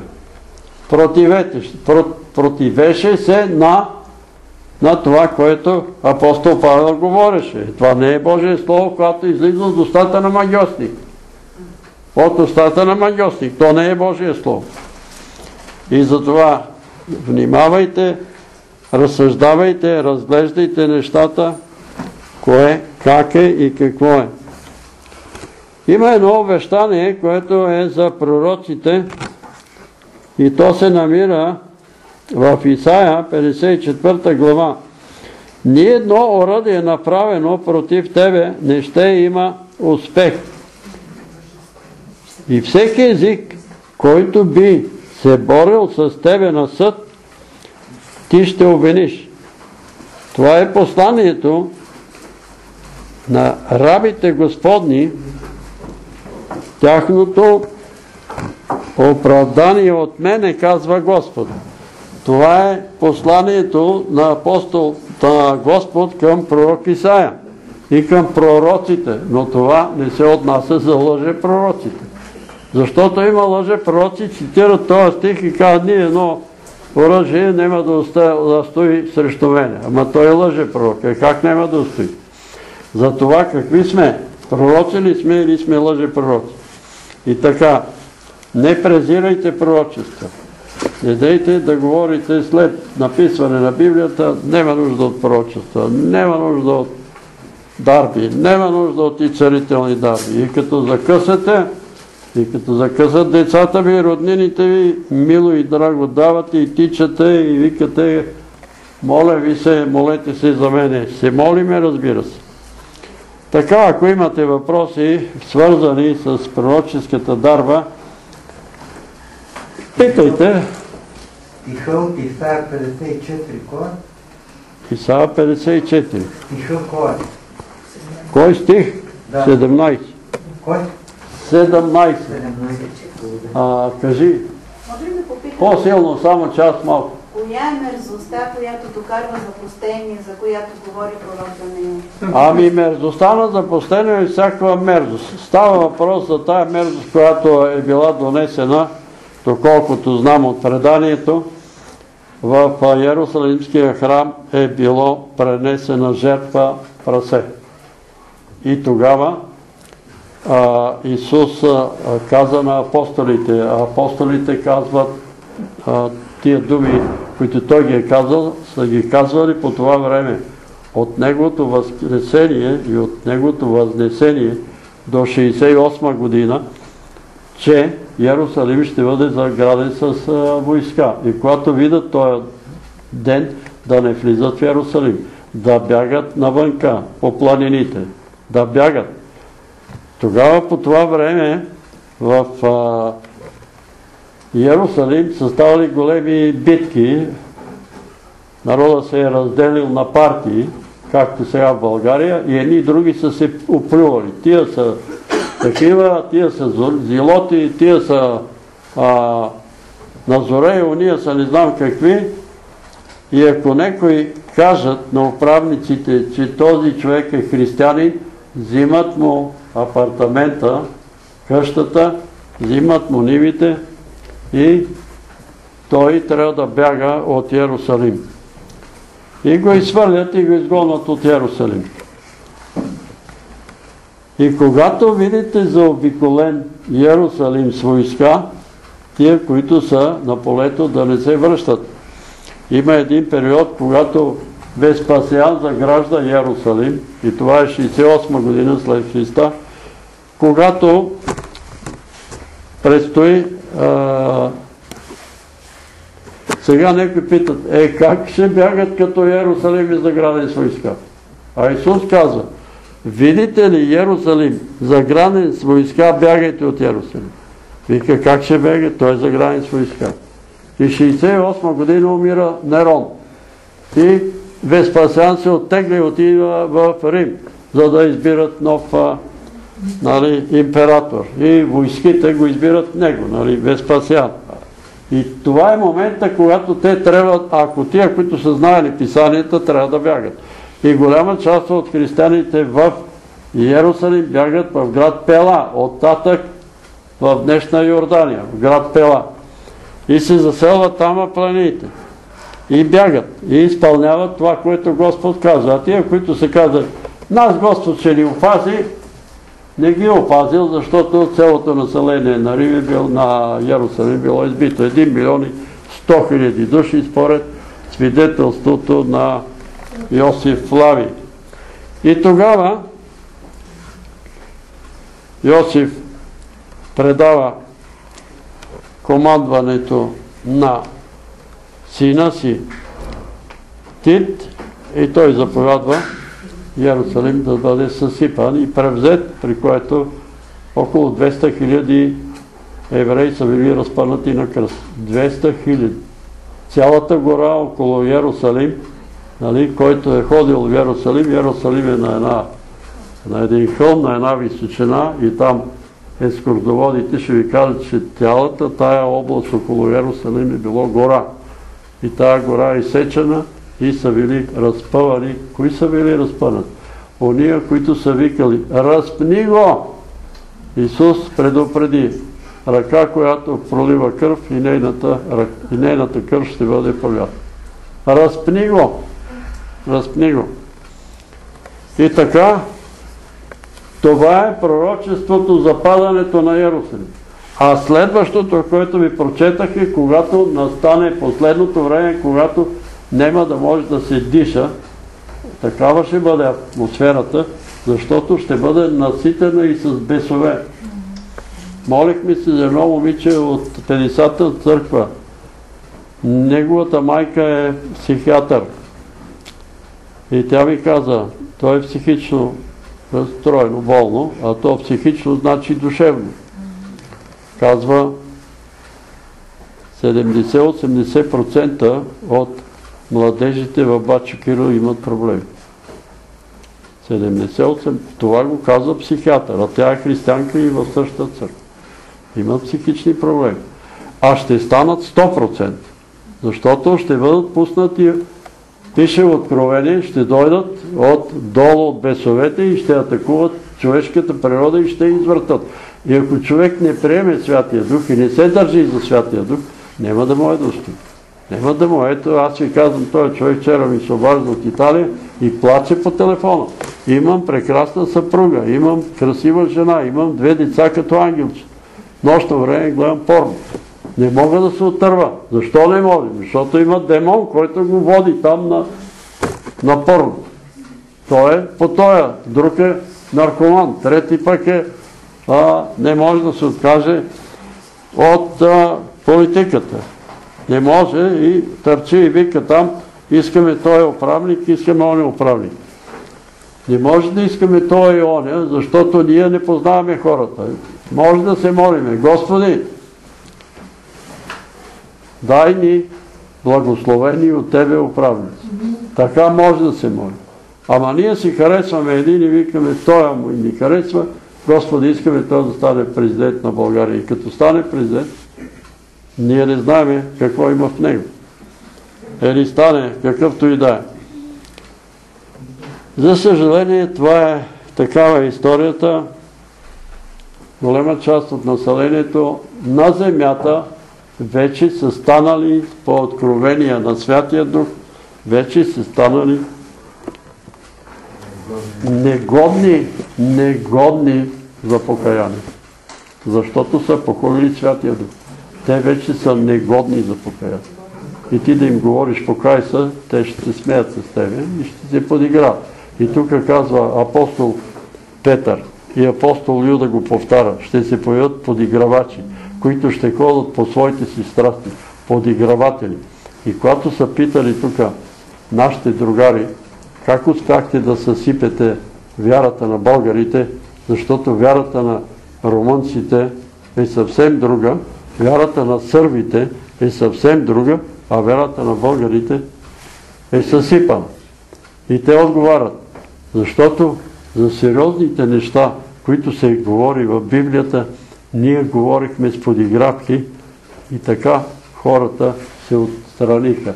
Подигравахме се с Дева Мария, подигравахме се с Исус, подигравахме се с апостолите и хората се отдръпна. А за несериозните работи говорихме с голяма сериозност. Това е нашия успех. А когато питам свещеника на Румънската църква тук на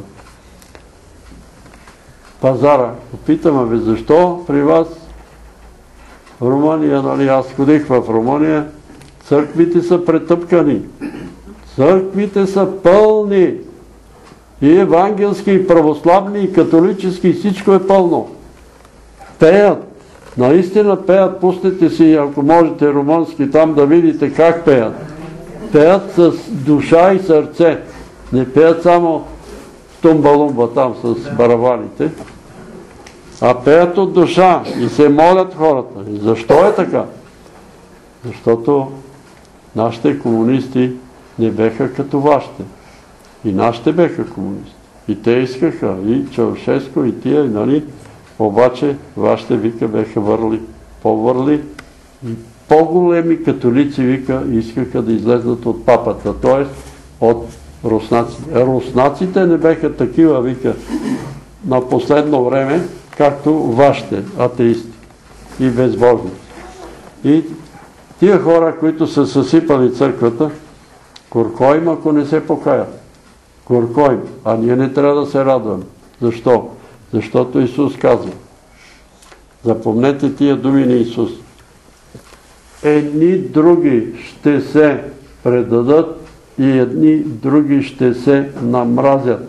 И любовта в мнозинството ще охладне. Задачата на дявола е да охладне любовта в християните. Да научиме кой ни е предавал и да го намразим. И да го намразим. Нали, аз съм казал, не го знам кой беше той известен руски, съветски певец, който му казват, че от неговата група, нали, от КГБ му казват, ето той от твоето нали, там група, те предава редовно. И еди кой си те предава. Еди кой си. Защо му казват? Как беше мимето?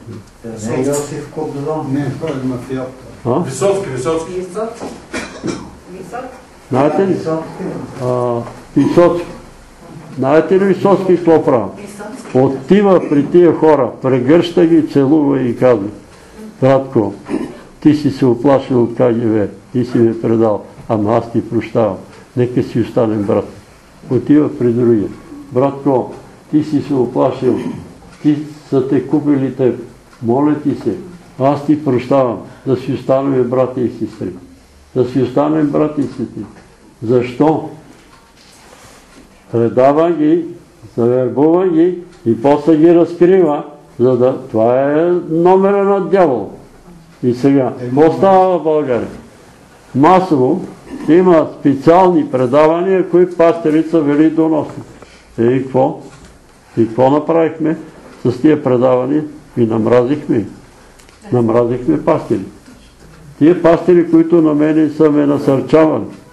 Ето, аз ви казвам за тия пастери, които ето и а, Иван Зарев, и Ангел Динов, и този Русинов. Аз съм се насърчавал от тях. Те са проповядвали Словото Божие.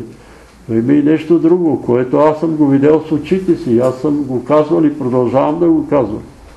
И много хора казват, Зарев е ченгелар, а е ченге. Да ме чуе Вениамин Пеев, който говори против Зарев и против Динко Желев. Нали? Да ме чуе. Защо той не знае, че Бог е поставил там на Амвон? Бог ги е поставил. Защото аз знам. Нали, аз знам. Бог ми откри, че Динко Желев ще стане председател на 50-тия съюз. И аз отидах и му казах и той ми, ха, ще остане Господ в тронната зала и ще дойда да говори на брат Петър Велик. Викам, чакай да ти кажа какво имам да ти кажа. Какво? Ти ще станеш председател на 50-ния съюз. Чернев ще почини, Зарев ще се разболе и те ще те сложат. Така ли? Ела вика да го кажеш от Амвона. Еми ще го кажа от Амвона. И сега се говори против Динко Зелев. Държавна сигурно го е служила. Той е ченгелар. Ами ченгелар е, ама Господ го служи там. Господ го служи. Зарев, моята племеница се разболя от рак. Туморно образование, колкото яйце над дясната гърда. Професор Киров взима биопсия и казва рак, карцином. По никакъв начин не може да бъде отстранен, освен по оперативен път, химиотерапия и лъчетерапия. Румяна казва, може ли да се откажа от вашето лечение? Не може. Защо? Защото като умреш баща ти ще ни съди, що не сме те лекували. Подписвам декларация, че се отказвам от вашето лечение. Подписва декларация, че се отказва от операцията и се отказва от химиотерапия и лъчетерапия. Подписва се и си отива вкъщи. Аз и сестра ми отиваме на Бачо Киро с една нейна дрежка. Иван Зарев, ние се молиме, Иван Зарев се моли и помаза дрежката в името на Отца, Сина и Светия Дух. Сестра ми занесе дрежката и я сложи на гърдите на Румяна. След няколко дни Румяна се, оба, се сутринта вика Майко! И сестра ми каза, отсекоха ми се краката. Тичам, какво роми? Бусата я няма. Иван Зарев, аз съм свидетел. Румяна замина за Южна Африка и там 34 години след това изцарени. Се върна. И като се върна, аз съм сън. Некой дава нещо да хапне и чувам. Отрова! И Румяна дойде и умре. Отрових се. Другия случай. На моя първа братовчетка, мъжа Иван, получи инфаркт. И то много сериозен пробив от към гърба. И лекарите казват, не може да се оперира, сърцето се е разкъсало. И какво става? Война ми плаче. Лида, братовчетка ми, плаче. И наскоро нали, им се роди момче, аз му бех кръстник, Виктор. Взимаме една дрежка с война ми, отиваме на Бачо Киров. Моли си църквата, Иван Зарев помаза дрежката. Лида занася в пирогов дрежката и я слага под леглото, под гърба на Иван. Момента двамата лекари се предават е, дежурствата и тя чува. Има ли нещо сериозно? Няма нищо сериозно, но има един, който вика, няма да устои, е, получил инфаркт, едва ли ще устои до сутринта, а тя ги чува. Тя казва, аз съм съпругата на това, нали? Иван Добре се казва. И те вика, малко се притесниха, само ще го пазите да не мърда, защото едно мърдане може да му коства живот. Лида отива слага потника по гърба на Иван, сутринта Иван става, сърцето му е здраво. А той е паднал в ръцете на един еврей, Мони. Така Господ нарежда, че след години аз отивам в Израел и го свидетелствам този случай и той казва, той човек Иван Добрев ли се казва? Да, ми той вика припадна, получи инфаркт в ръцете ми. И Мони повярва, жена му Антония повярва, двете му дъщери, синовете повярваха и приеха Господ Исус Христос от това свидетелство. Иван Зарев помаза тази дреха и сега се пише по интернет. Той е ченге, той е предател, той е такъв. Какъв ще да е? Не го съдите, бе хора. Абе, вие ли ще го съдите? Не го съдите. Аз знам и той и срещу мене ме е предал. Обаче, какво от това? И каква е задачата на тия разкриване на тия досиета? Да се намразиме едни други. Това е задачата. А, последвайте примера на Висоцки. Братко, оплашил си се. Аз ти прощавам. Идва Тошко Диамандиев на вратата. Брат Пете, предадохте. Какво бе това? Предадохте. Моля те да ми простиш. Какво направи? Какво си направил? Отидахме, вика, с брат Стоил да свидетелстваме на, на Людмила Живко. Обаче, преди да влеземе в нейната е как, кой ми пусна там? Абе, промушихме се, Господ ни помогна. Там пази, вика, милиция. Обаче ние покрай милиционерите се мощнахте, те се разправяха с някакви хора и ние покрай тех и право и питаме къде е нали, канцеларията на другарката Жикова. И тама да влезнем и двама мъже вика, ей, вие кои сте тук? Къде отивате? При другарката. Защо отивате при Ами да изсвидетелстваме за Господ. Какво? Я тук, арестуваха ли, вика. Захараха ни в Петър районно. Вие къде ходите на църква? При Петър Вълев. Кой е то Петър Вълев? Къде живее Петър Вълев? И ми там, младо се едно, еди какво. Блок 78, вход 2. И викате предал. Не бой се, бе, Тошко. Те знаят къде живеем. Не бой се, бе, моето дете. Идвай си при мене. Ама аз те предадох. Оплаших се, вика и те предадох. Ей, какво? Какво е станало? Предал Ей, какво? И Тошко сме си приятели сега. Нали? Неговата съпруга идва от време на времето. Маринка, Господ да ги благослови. Така че отвърлете, той е номер на дявол. Едни други ще се предадат и едни други ще се намразят. Не мразете тия, които са се оплашили. Оплашили са се, други са се съблазнили. Нали, не ги мразят. Ето аз ви казвам. Извикаха ме в държавна сигурност и ми предложи. Заминаваш за Англия, да учиш богословие. Като се върнеш, ако искаш, ще те направим председател на Конгрешанския съюз. Ако искаш на 50-ния съюз. Ако искаш, ще те направим митрополит, защото ти не си жен. Ще те направим митрополит. Отиваш там, учиш богословие. Учиш английски. Ти си учил малко английски, там ще го усъвършенстваш в Англия. Е, английски ще знаеш, е, ще станеш нали, председател на Евангелски съюз. Какво трябва да направя?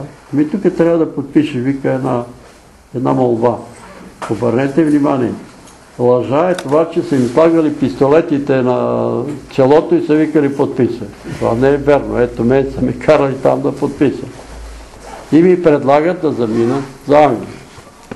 Вика, може ли да ми прочетете, че си не нося очилата, какво пише там на този лист? Молба от Петър Иванов Велев до началника на Държавна сигурност. Другаро началник, моля да бъда прият за ваш сътрудник. Обещавам да изпълнявам безпрекословно всички ваши заповеди и наредби. Молба от Петър Иванов Велев. Молба да станеш доносник. И аз им казвам, няма да разпиша. Защо? Ама отиваш в Англия, бе. Абе, човек ще си гледаш ще станеш председател на 50-ти съд, два пъти в седмицата ходиш по два часа и си гледаш кепа, вика и си взимаш хубава заплата като един заместник министър. Не. Защо? Защото не искам. Не. Не искам. Невинни хора да страдат заради мен. Как така невинни хора? Еми, вие ще искате от мене да предавам хората. Ние ще искаме само ако дойде чужденец, тогава да се обадиш по телефона да пратим наш човек. Виж какво? Аз знаех, имах откровение, че в Конгрешанската църква има 10 души информатори по това време. И аз им казах на някои от тях и те си панаха за главите. И една Мария имаше, ако не се, ако си спомняш, Арменка беше. Мария. На, много преказлива. И аз си казах на нея, викам, ще се събудиш в ада. Много си ми симпати. Ау, брат Петър, какво да правя? Ами, като искат информация, казах, аз съм до тук. Ами, може да ми направят. Нищо няма да ти направят. Нищо. Искаш ли да не те търси? Искам. Кажи пред църквата, аз съм информатор. И ти не ставаш вече за информатор. Кажеш ли, че е край с теб? И аз му казвам, 10 души са. И той вика, знам, че са 10. Ама искаме да знаем истината от пастира, а не от тия 10. Знаеш ли защо? Защото за тебе ми пишат, един пише едно, а другия пише точно обратно. И аз не знам какво да вервам. Те си пишат, то пише, о не пише. Какво да правим? И какво става? Викам, никакъв случай няма да се съгласа. Ами и ние не искаме невинните хора да страдат. А може да ми кажете къде са братята Христо и Димитър Количев?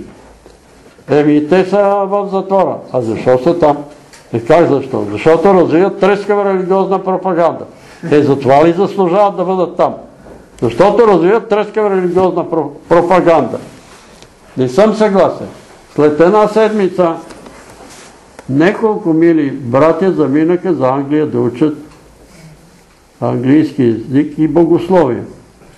И един от тях беше Павел Иванов, който стана председател. Те си държат на думата от държавна сила. Той стана председател на Конгрешанския съюз. Но знаете, жал, разболя се, отиде си, почина си. Той, нали, искаше заедно да, да, да се молиме там, но от тия, от комитета, нали, поискаха да спрем тия събранието. Така че тия, които са отишли там, са се разписали доброволно. Така, не дейте нали, да се перчите, нали, казвам имената на тия, които завършиха в Англия, от провинцията, маса пастери, завършиха в Англия и сега плюват по другите пастери, а самите те са се разписали, там и са били такива. Какво да направите? Прощавайте ми, брати си. Защо?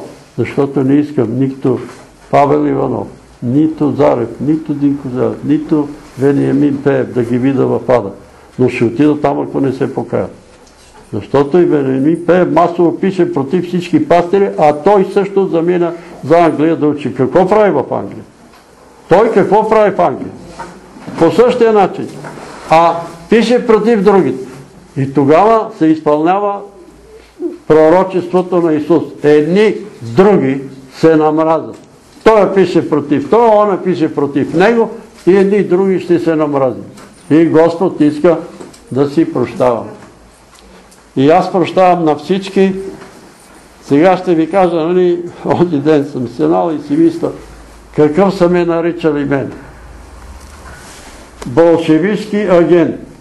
На Бачо Киро ме нарекоха болшевишки агент защото им казах една работа, че ще влезне зло в църквата и чрез тия пари ще влезне зло в църквата.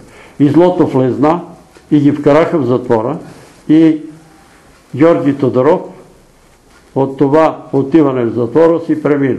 Но Георги Тодоров, когато си е преминал, нали аз не съм знаел, имах сън, че чувам глас от небето. Ангели с арфи посрещнаха Георги Тодоров. Той устоял до края. Беше в затвора. Беше в затвора. Болшевишки агент, комунистическо коше, англо-американски шпиони, а, консерва, консерватор, не приема новите течения, които идват от Америка, тия топани, барабани, не ги приема, защото това са шамански работи. Това е шаманизъм, разберете преди да стане Бели велик евангелизатор е бил шаман. Това знаете ли? Покаял се. И после пак е бил шаман. И после пак става евангелизатор. И напишете си Кашпировски. И вижте какво прави Кашпировски. Кашпировски прави същото, което прави същия това наш велик евангелизатор. Кашпировски казва така и народа пада по земята.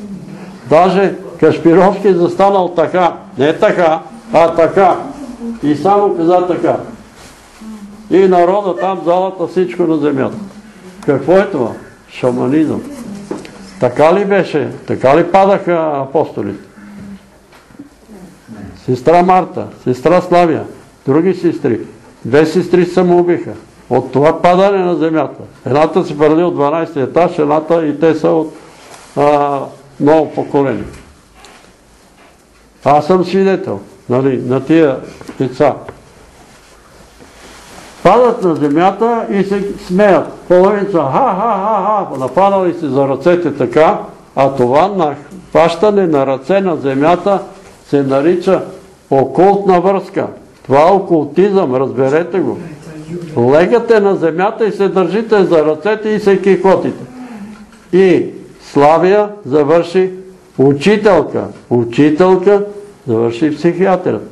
Сестра Марта излиза от това събрание и е валело дъжд, минавали са там, на този Андрей Аврамов в църквата, минавали са през там някаква алея нещо и изведнъж вика, като паднах аз в калта там и като почна да ме търкаля някакъв дух и като почнах да се смея в калта и цялата станах само кал и ми се обажда по телефона, брат Петре, а ти били търковил в кълта твое дете. Еми, викам, не би го търковил в кълта. Еми, значи Бог не ме е търковил в кълта. Еми, не. И въпреки това, вижте как ги хваща този дух. Тия двете мили сестри идват дома у нас. И казват, тихо ли Святия Дух? Тихо ли Святия Дух, да знае, че ще отидеш в ад. Искаш ли да се помолим за тебе, да получиш свещения свях? Викам, айде, молете. Обаче, преди това, аз съм се срещал лично с сатана, с дявола. Е така, на 2 метра срещу мен. Неговото присъствие е студ. Студ. Измързваш, ставаш на бучка лед. И ужас. Това е него. Той не е с... Дяволе, ти си гасеница, сега аз те стъпвам. Ще го стъпеш друг път. И те почват да се молят. Господи, призоваваме те свещени смях, ела тук и обладай и изпълни брат Петър Велев. И аз усещам. От краката ми започва да пълзи студ.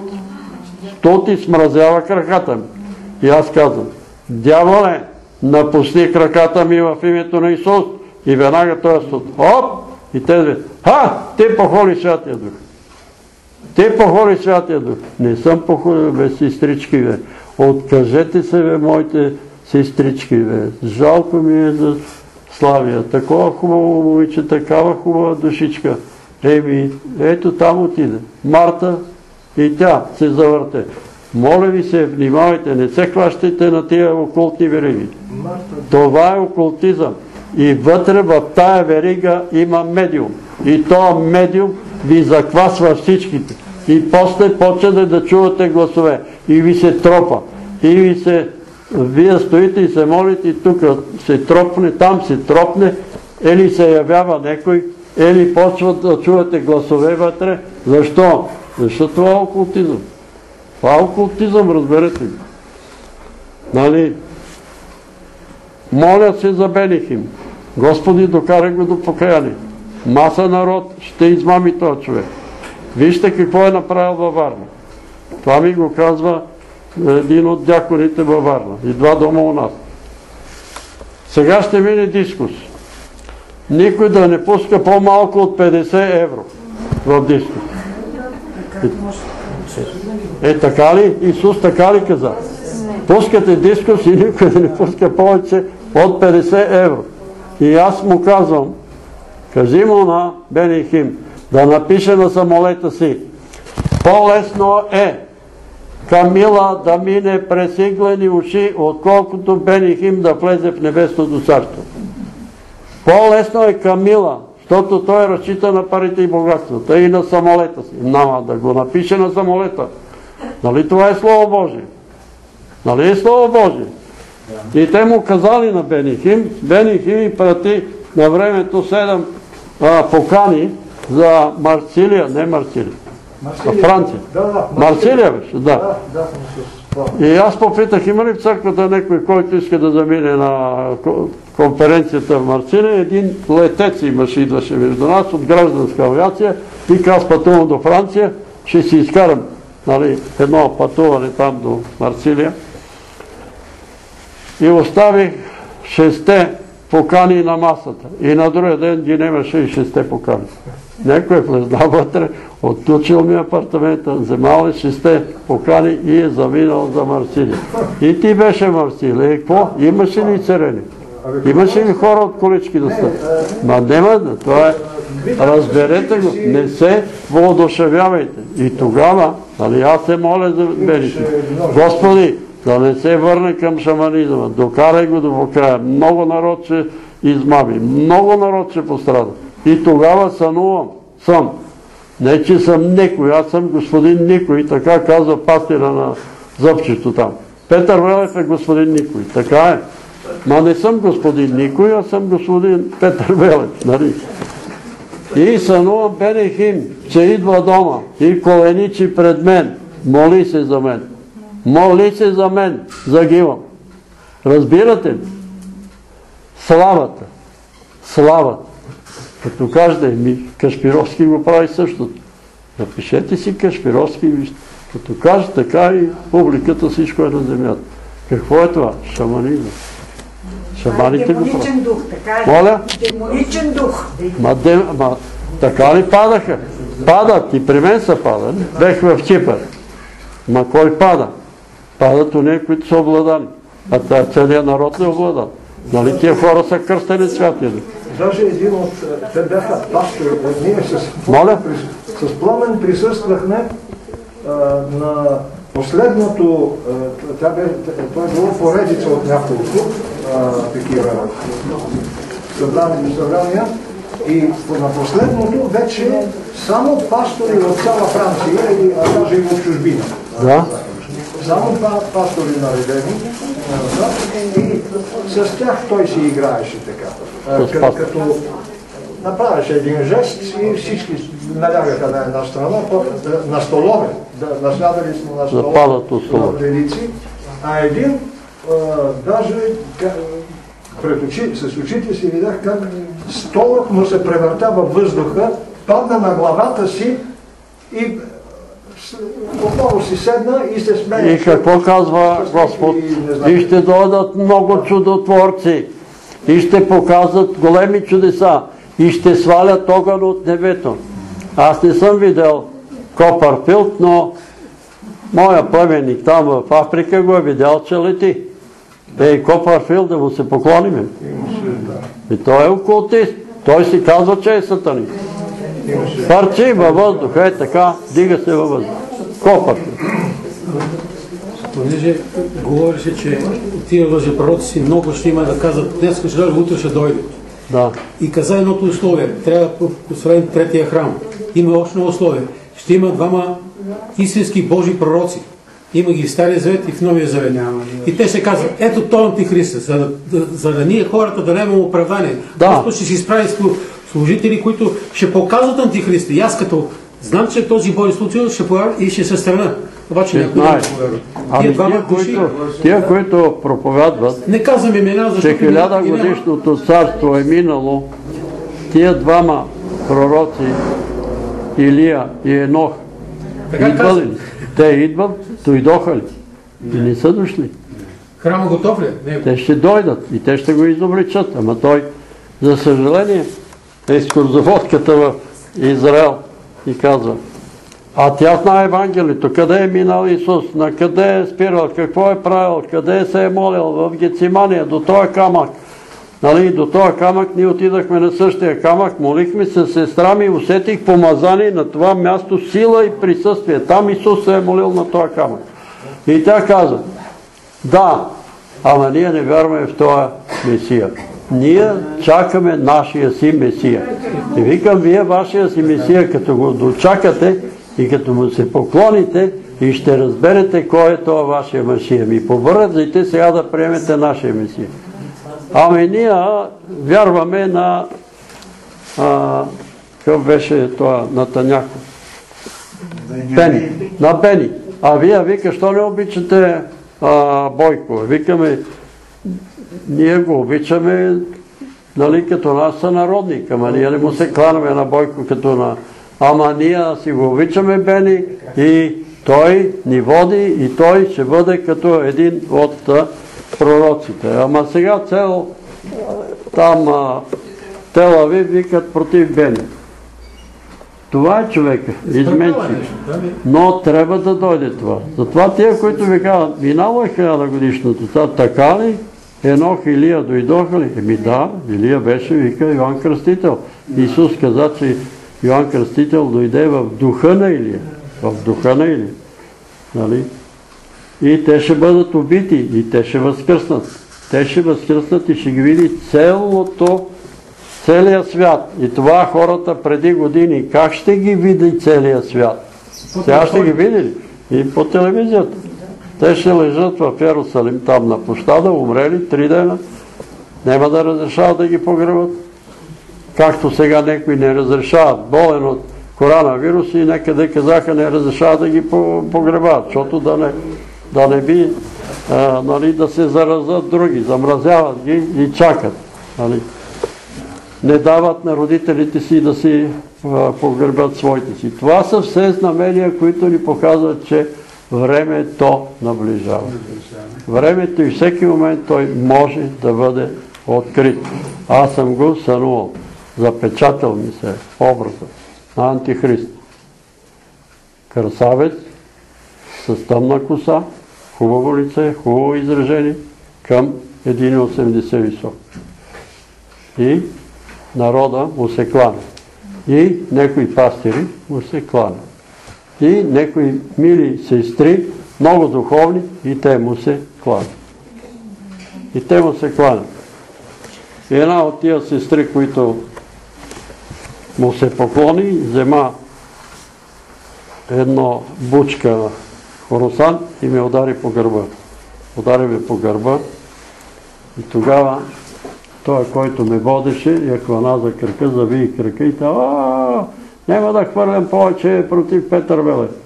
Тази жена се разболе, заболява крак и от този крак си отиде. И си отиде. Казвам това не защото съм много важен, нали, но това се отнася и към него, и към нея, и към него. Не може да хвърляме и да говорим глупости и да казваме той е еди къв си, той е еди кос. Той е еди къв си. И затова тия лъже пророци, бъдете водни, внимавайте, ще дойдат лъже пророци, при вас ще ви излъжат. И те скачат. Сега, нали, бехме с Димчо в Хармали, е една пророчица, почва да... Господ сега нарежда по друг начин да се молиме за болни, ще пееме като пееме и болните ще оздравят. Нема нужда да се молим. Нема нужда да изпадаме грехове, защото нали, аз им говоря, че трябва да се изпадат греховете, трябва да изпълнат Яков 5.16, нали, да се изпълни Словото. Нема нужда. Пееме и оздравяваме. Ние пяхме за един човек и той оздравя. Един стана и той е по-грубичък и каза, млъквай, сядай млъквай. Първо е забранено на жена да получава в църква. Първо не си изпокрива главата. Второ нямаш право да говориш. А това е лъжливо учение. Викам, сестро, добре е да хвалиме Бога. Ама има Слово Божие. Словото Божие каза, болен ли е някой, нека се моли. Зле ли страда, да призове църковните презвитери да го помажат с масло и молитвата, която произлиза от вярата, ще придигне страдалеца и ако грехове е сторил, ще му се простят. И тъй, изповядвайте един други му греховете си и се молете един за друг, за да оздравяват. Това е, не е песни. Не са песни, а това е лъжливо учение. И какво стана? Разболя се Виктор Вирчев, събраха се и почнаха да пеят. И неговата бивша секретарка му се обажда и каза, Брат Викторе, може ли мъжа ми и брат Петър Велев да дойдат при теб да се помолят за твоите изцерени? Благодаря им за Христовата любов, но не, не мога да ги приема. И цяла нощ са пеяли, пеяли, пеяли и Виктор си отиде. И си отиде. Какво означава това учение за пеенето? Еми лъжа. Лъжливо учение. Има Слово Божие. Хубаво е да пеем. Хубаво да славим Бога. Нека пееме цяла нощ. Ама има си ред. Той трябва да се моли. Трябва да се извикат презвитери да го помажат. Молихме се а, 50, 48, 50 църкви и ние се молихме цялата църква. И Бог не го изцели. Защо не го изцели? Защото не си изпладал греховете. Не си изпладал греховете. Той има три или четири смъртни грехи. А той е пастир. Един от греховете, че е съгрешил против Дева Мария. Той е проповядвал, че тя ги е родила. Че тя е родила Яков, Йосиф, Симон и Юд. Тя ги е родила. И така безчести майката на Исус. Това е единия грех. Има още две неща. Дал е съвет на някои сестри да абортират. Също. И още някои неща. И Виктор е затворен. Това виждам един път, втори път, трети път. Не е така, както говорят. Той е на небето, той е в славата на Бога, ама не е там, той е затворен. И чака страшния съд. И чака страшния съд. Затова ви казвам, нема пастери, нема владици, нема патриарси. Словото Божие трябва да се изпълнява от патриарха, от папата, от пастира, от мен, от тук чистачката, от Вики, от всеки един от нас. Това е. Вики трябва да изпълнява Словото Божие. Това е истината. И тогава Господ действа. Нема друг начин. Не дейте, не дейте баща на тия модерни нови учения. Ще скачаме, ще рипаме, ще се търкаляме, пое Бог ще ни цели. Нема да стане, защото аз видях това с очите си. Видях Нина, която риташе дявола. И казва, дяволе, ти си никой, ти си господин никой. Не се излагай, дяволе. И се фърли от осми етаж ще самоуби. Това хубаво момиче, тя като красавица, хубава. Обаче, ето това. Това е лъжливо учение. Това е лъжа, разберете. Не може да тъпчеш дявола. Не може да го хулиш. Когато е писано в апостол Петър казва, не знаят какво говорят. Хулят властите. Апостол Юда, Архангел Михаил не посмя да изговори хулна дума против Сатана. А тия хулат това, що не знаят. Дяволе, ти си черва и ти си гасеница. Съжалявам, трябва да му кажа и на брат Младен, нали, който сега излиза там при Благовест Белек. Той си написа на подметката Сатана и почна да го тъпче. Вика, Сатана, аз те тъпча, аз те тъпка. Милия ми брат Младен, който толкова се съм насърчавал от него. Абе, как се фана на тая бъдица, бе? Ма ти си пастир, бе, как ще пишеш на подметката Сатана и ще го тъпчеш? Ма ти нямаш представа кой е Сатана. Печат на съвършенство. Първия след Бога. И ти го тъпчеш, бе, той е червей. Ема никакъв червей не е. Защото не е допуснал Господ да те помачка малко и ще видиш какъв червей. Наистина, Сатана бяга в името на Исус. Но закъсаха. Друго едно момиче, от 12 етаж младост 2 се хвърли. Не, младост 3, извинявам. И после дойдох от градско управление и ми питат, абе вие ли учите децата да се първат? Абе вие ли ги учите, бе, Петре? Представи там градско управление на Мевре. Няма такава църква, която учи хората да се самоубиват. Няма такава църква. Няма. Учи ги дявола. Учи ги сатана да се самоубият. Знаете колко души самоубият годишно във Варна? Младежи. Над 200 души. Хвърлят се от Аспаруховия. Това официално го пишат в това, в помени. Над 200 души се самоубият. Внимавайте, последно време е. Внимавайте, не си играйте с огън. Не си играйте. И не се пазарете с... Кажи, пан. 800 хиляди души се самоубиват за една година в света. В света, България са около 1200. Около 1200 годишни се самоубият България. Слагат край. Тия хора си затварят вратата сами, затварят си вратата за небесното царство. Защото който разруши своето тяло, какво става? Вие сте храм на Святия Дух. И който разруши храма, него Господ ще го разруши. Разбирате ли какво ви говоря? лъже пророка Вилне из целия свят. И България също. Внимавайте на тия лъже пророци. Внимавайте. Старайте се в Божия храм. Какво трябва да се прави там? С страх и трепет. С страх и трепет да с благоговение да стои пред Бога, да се молим. Ако някой ви каже, трябва да се молим, трябва да коленичиме, трябва да се молиме, коленичете, молете се. Ама давай сега ще ритаме дявол. Извинявам се, някаква книга има сега. Има верни неща. Сега ми пращат, нали, Ценка тук ли е дойде ли? Поремир. Поремир. Верни неща, но има и лъжливи неща в тия книги.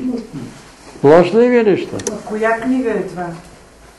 Ами, каква беше тия високоумничето? Високоумничето. И от това високоумниче, нали, произлизат наперени такива християни, наперени евангелисти и не знам какви наперени. Високоумниче. А аз питам авторката. А децата тъпоумничета ли трябва да бъдат? Или високо умничета, защото те се искали децата да знаят повече и от учителите. Ми знаят. За съжаление, някои знаят. И аз ще ви кажа един пример, нали? Аз съм го казал. Учителката по биология обяснява на децата происхода на човек. И едно момиче пита. Другарко, баба каза, че човека Бог го е сътворил. Така ли? Баба ти е казала, баба ти не разбира. Какво образование има баба ти? Има основно. Сега слушай да ти обясня. И почва да й обяснява. Обяснява, обяснява как е станало, нали, от частичката е гръмнала, образува селената, от чехълчето, от маймуната и така нататък. И накрая пита. Разбра ли? Вика, разбрах. Какво разбрах? И разбрах, че вие сте произлезнала от маймуните, а мене Господ ме е сътворил. Това високоумно дете ли? Високоумно е, нали? Обаче тя вика класната. Идва класната и почва да обяснява. Ученици, погледнете, погледнете навън в двора. Виждате ли тополи? Виждате. Там това село имаше тополи, сега се ги изрезали. Така, на тополите има ли маймуни? Гледат децата. Няма. Значи няма. Сигурни Няма. Тополите няма маймуни.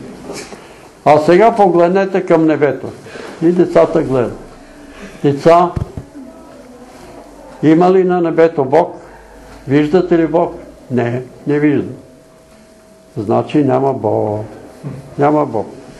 И тогава едно момче се обажда и казва, ученици, виждате ли ума на класната? И децата викат, не. Ей, тя няма ум.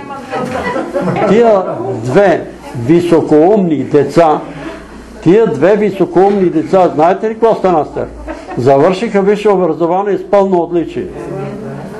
Завършиха висше образование с пълно отличие, не са високоумни. И двете деца са вярващи.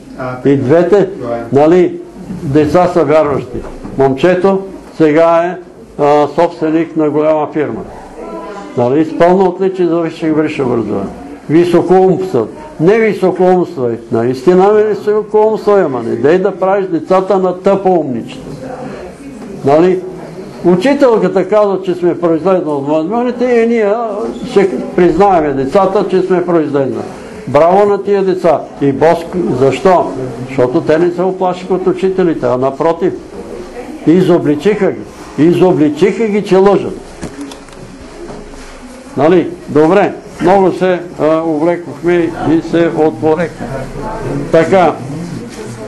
В тая книга се пише, нали, между другото, че при водното кръщение автоматически приемаме кръщение Святия Дух. Това не е верно.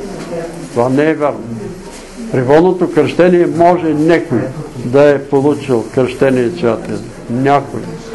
Но официално не е така. Официално нещата стават по друг начин.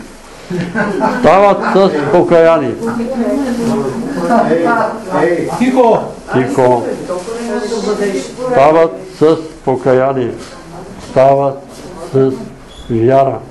Стават с искане за служение. Това искам само, тъй като говорим за дарбите. Дарбите не са за спасение. Дарбите не са за спасение. В ада ще има хора, които са били много мъдри. Ще има хора, които са много съзнаели. Нали? Много знаели. Обаче не са повярвали, че Исус е възкръснал. Ще има хора с дарба за изцерителни дар, които няма да бъдат в небе. Ще има хора, които говорят езици и няма да бъдат в небе. Говорили си, защото те си нали, такова, така доктрина има, щом си преговорил на език, край. Записан си на небето и ако не говориш език, няма да влезеш в небето, защото там се говори на, на незнайни езици. Не е така. И обратно, има хора, които не са говорили си си и ще отидат в ада. Това, което аз ми е дадено и знам, Господ ми го открил, че ада е пълно с богослови, с пастири, с учители, с свещеници. Пълно. Знаете ли защо? Защото ти учители не са повярвали във възкресението на мъртви. А какво казва апостол Павел? Ако не вярваме в възкресението на мъртвите, вие сте още в греховете си. В греховете си. Пастири, които не са вярвали. Не знам, некой по, нали, помниш сестра Костаринка Пано. Помниш, нали? Тя ходи в Америка да учи за дяконис. Да учи за дяконис. И я виждам в петицата, трамвая.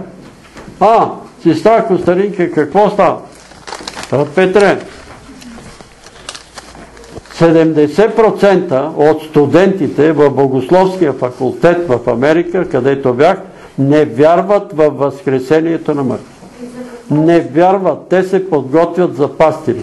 И тия пастири не вярват. И аз, вика, избегах от Америка и си дойде и служеше в доктор Лонг. Нали, не стана дякониса, но водеше там женските събрания. Когато Страко Стадинка си премина, аз не знаех си преминал, на четвърти километър на площада на авиацията беха се събрали пастири. И тя беше там. А те я укоряваха нея. За това, че не говорил езици, че не приемала кръщение Святия Дух. Укоряваха я. Нали? И както седехме там, изведнъж дрехите й блеснаха. Станаха бяли, като Исус на Тавор. Блеснаха и неква сила я поде нагоре и тя тръгна нагоре. Лети във въздуха и отгоре зад един такъв облак се появиха две католически монахини, нали, те са с черни, а такива отвътре бели дрехи, от страни черни. Е така я приеха, и я скриха в небето. А един от пастирите каза, братя пастири, ние май няма да можем да отидем там, където отиде Стар Костадин. А те я укоряваха. Защо? Защо няма да отидете там? Каква е разлика между нея и вас? А след нея дойде Веса Дянкова. Моля? Сестра Веска Дянкова дойде след сестра Костадинка. Веска Дянкова, дето беше на доктор. Да, да. Да. А тя, как, а тя как е според теб? Ама тя си отиде, Е, тя си отиде 86 тя, тя, тя си премина, но а, за нея не мога да кажа, но за а, Мара Вирчева, нали те бех, Да. и тя беше там. Да. На Мара Вирчева ми се казва, иди и кажи, че е мъртва. А тя е майка на пет а, християни, нали, четирима братя и една дъщеря. На Виктор Вирчев е баба. Да. Иди и кажи, че е мъртва. И тя казва, какво да правя, какво да правя, какво да правя? Викам, какво ще правиш, ще покаеш. Как да се покажеш? Ти изповядаш греховете. И обажда ми се, ела у нас. Не знам къде живееш, някъде. На Жданов. На Жданов живееш. Не помня, но отидах от тях. И сестра Мара Вирчева, нали, аз може да й бъда, да й бъда внук. Аз мога да й бъда внук. Но тя, но тя изповяда пред мен много грехове. И се помолихме и тя лежеше и тогава се оправи. Не можеше да ходи, имаше проблеми пред мен. И изповядайки, а това съм правил, това съм правил, това, това, това, това. И тогава, сега, преди да се разболее Виктор Вирчев, я сънувам, че тя идва и ми каза, моля ти се, иди помогни на Виктор. Виктор е много зле, иди му помогни. И аз отивам и му казвам, баба ти Мара, я сънувах да дойда да ти помогне. Имаш проблем, кажи проблема. Ела, брат Петре, утре тук ще те ръкоположим за дякон. Абе, аз не искам да ставам дякон. Бе, ти имаш проблем. Моля ти се, кажи си проблема. Не, не, ела да те направим дякон. И то там. И после не мога да го приема. И си отида. Нали, Царство Небесно. Така че за Мара Вирчев също съм сигурен, че е там в небето, защото призна, верно, мъртва съм в греховете. А тя нали, говореше, проповядаше, събираше ги. За съжаление, за един пастир тук, в Конгрешанската църква, иди му кажи, че е мъртъв. Защото и да кажа защо. Защото той проповядваше, че на тайната вечера Исус е ял квасен хляб. Разберете, това е невъзможно. Не е възможно. Защото тримата евангелисти пишат, настанаха дните на безквасните хлябове. Вижте в изход какво става, когато настанат дните на безквасни хляба. Който яде квасен хляб да бъде обискамен. Да бъде обискамен. И тогава, когато настанаха дните на безквасните хлябове, Исус каза на Петър и идете да ми приготвите да ям паската. Откъде апостолите Петър и Йоан ще вземат квасен хляб? Откъде ще го вземат, като целият Израел никъде няма квас? Не, аз съм изследвал и знам. Аз съм изследвал и знам. И тогава аз сънувах сън, иди му кажи, че е мъртъв. И аз отидах, дойдох, казах му, мъртъв си. Господ каза, че вярно е, мъртъв съм за света. И така. И разболя се и аз се моля за него, Господи, смили се за него, няма да се смиля, не се моли няма да стане. И ми се дадах един сън, втори сън, че отивам при него, той затънал до кръста в една блато, тръгвам към и аз почвам да потъвам. Втори сън, качвам се на един трамвай, отивам към него. Трамвая нема релси, спира на 3 метра пред него. Нема, нема да стане. Молих се, но си отиде човек. Разберете, нема пастери, нема владици, нема патриарци. Нема, за Бога те са човеци грешници. Човеци грешници. И така, да се молиме едни за други, малко стана като партийно събрание, но трябва да си ги кажем. По-добре да си кажем нещата. Не да се... Ами да не сгрешиме. Я, ние там викат да ритаме дявола, защо да не го ритаме? Ами ще го ритате, ама после ви се тропа и ще пищите. Добре? Имаме бележки тук, ще ги прочета.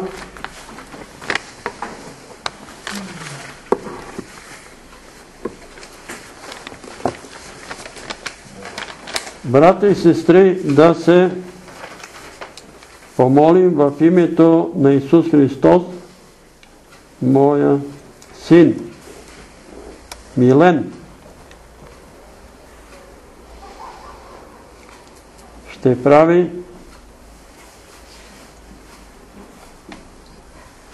втора операция.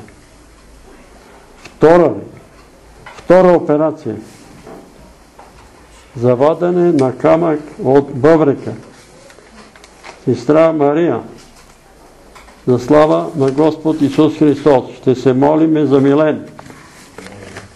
Свещеник Стефан ми каза, че съм оправил операция, вадили се, натрошили с такъв камък с лазер.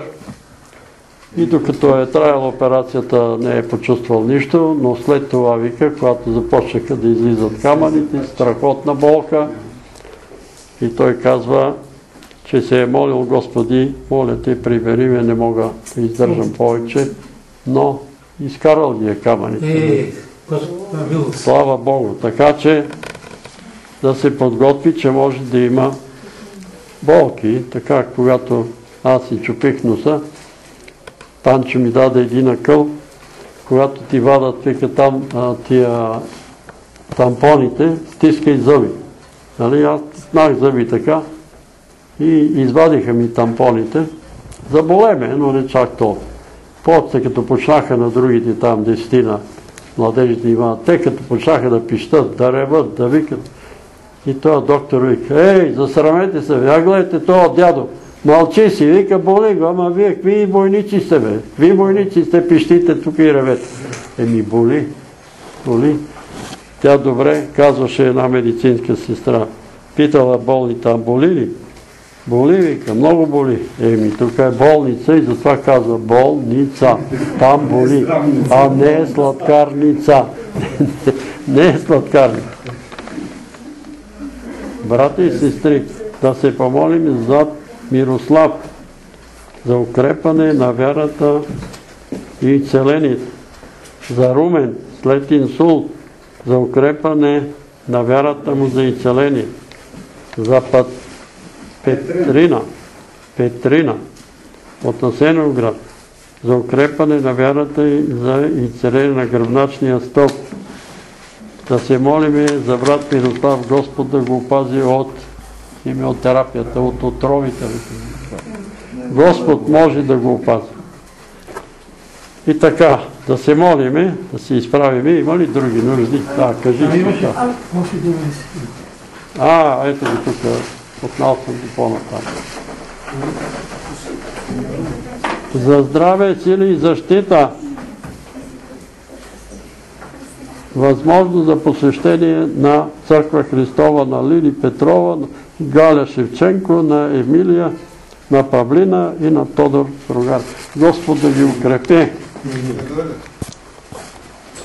Кажи. Аз искам да припомня пак да се молим за вероучение от там. Да, да се Да. молиме за вероучение. Казаха нещо, че се работи по този въпрос, но се спря говоренето. Нали той е на а, избираем. Нали така? Да, да избираем, да, поне. момента това. го има. Никой не го е забранил. Никой не го е забранил. Никой не го е забранил. Нали? Но чуваме майки, които излизат по телевизията, аз не искам моите деца да учат вероучение. Аз не искам моите деца да учат вероучение. Еми, Децата са жадни да слушат за Бога. А, взех повод оне ден Да. в един от седмите класове, завъртях разговора така. Не, всъщност те ме попитаха, ще има ли потоп. И аз им казах, не, Бог е дал. В, Няма а, потоп. а, Стария завет пише, че е дал дъгата като знак, каза между мен и човеците, че няма да има потоп. И така, по този повод и казах и за Ноевия ковчег. И те толкова им беше интересно. И викам, а вие не сте ли чули, не знаете ли, дори има филмчета. вашите баби не са ли ви разказали? Ама много им беше интересно. И викам, се накъл, какви с тия майки, как не им ли говорят? А, не- а, искам да ви кажа, че поголовно ги водят бабите, особено на гледачки. И децата има обладани, идват Да. и така. За съжаление, трябва да ви кажа, нали, вие чухте, Виждат и че сенки зад себе си, като се прибират вкъщи. Страшно Петя е. от Пазарджик е починала, но нейната дъщеря е намерила муска в някакво шкафче там. И не си играйте с тия муски. В тия муски понякога пише. Нали, аз съм отварял муски. Ходжата пише. Сега, аз отварям врата в сърцето на този човек, да влезне Моисей и да го изцери. Ще стане ли? И муската и той чака. Моисей. А? Някой вместо Моисей. В името на Моисей. Но има и такива муски. Дяволи, болесни души, напусни тялото на, тая, на този човек. А след смъртта му, неговата душа е твоя. И такъв човек оздравява. Ето, дявола напуска, маха се, но тая душа е него. И когато за такъв човек почваме да се молим, започва страшна война. Нали, на едно дете на 3 години, на 2 години беше, му направили муска и когато аз разтварах муската, то си лежеше, мируваше и като вземах муската и като почна да пище, като почна да се тришка, да се удра там в, а, нали, кошчето. Защо? Защото демона в него реагира. Демона реагира. Моля ви се, внимавайте с тия муски. С такава муска, нали, в Самоков има една сестра, нали, не е имала деца, отива при хожата, правят една муска, тя забременява, ражда едно момиче и това момиче я бие нея, бие баща си, разведоха се, направи ги на пух и прах. Съсипа ги, съсипа им живот. Обаче муската си я пазят. Какво е това? Това е окултизъм, това е духа на антихриста, това е духа на лъже пророка. Муски и талисмани. Свещение на Муски и талисмани. Ами ходят до болниците и ги продават те са червени тук. Добре, да се изправим.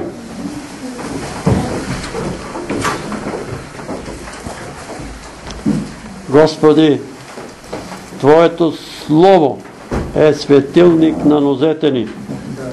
Помогни ни да свети пред нас денем и нощем, защото се появиха много лъжи учители и лъжи пророци, които се опитват да ни отклонат от Твоето Слово, такова каквото е записано и в Стария и в Новия Завет от Твоите святи пророци, евангелисти и апостоли.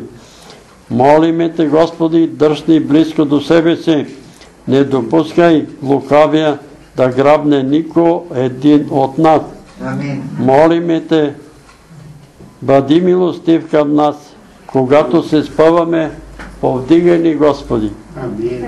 Когато се отклонява, не връщай ни, Господи. За да се връщаме в Твоето стадо. А ние изповядваме и вярваме, че Твоята църква е една на планетата. И всички верни християни, от православната, от католическата, от евангелските църкви, които вярно изповядват под символа на вярата, вярата си и държат на чистотата на Евангелието, на чистотата на вярата за Твоята църква. И ние искаме да бъдем в Твоята църква, в Твоята сграда, в Твоята невеста. И нито един от присъстващите, Господи, на това събрание да не липсва Амин. на Твоята сватбена вечеря. Алелуя. Но всички да е един, да устоим до край и да се видиме заедно с тия верни брати и сестри, които са преминали като страх Костелинка Панова и други такива сестри и братя, и които вярваме, че те са там, като Георги Тодоров и други, за които ти си ми дал откровение, че те са при тебе под престола на Бога. Така да бъдем всички ние да устоим до край. Господи, дай ни за това да мислим. Дай ни към това да се стремим, към небесните неща. Молиме Те, Господи, смили се на този човек, който му предстои операция. Молиме Те, помилвай го и изсери го. Стопи камъните в бъбреците да ги свърли.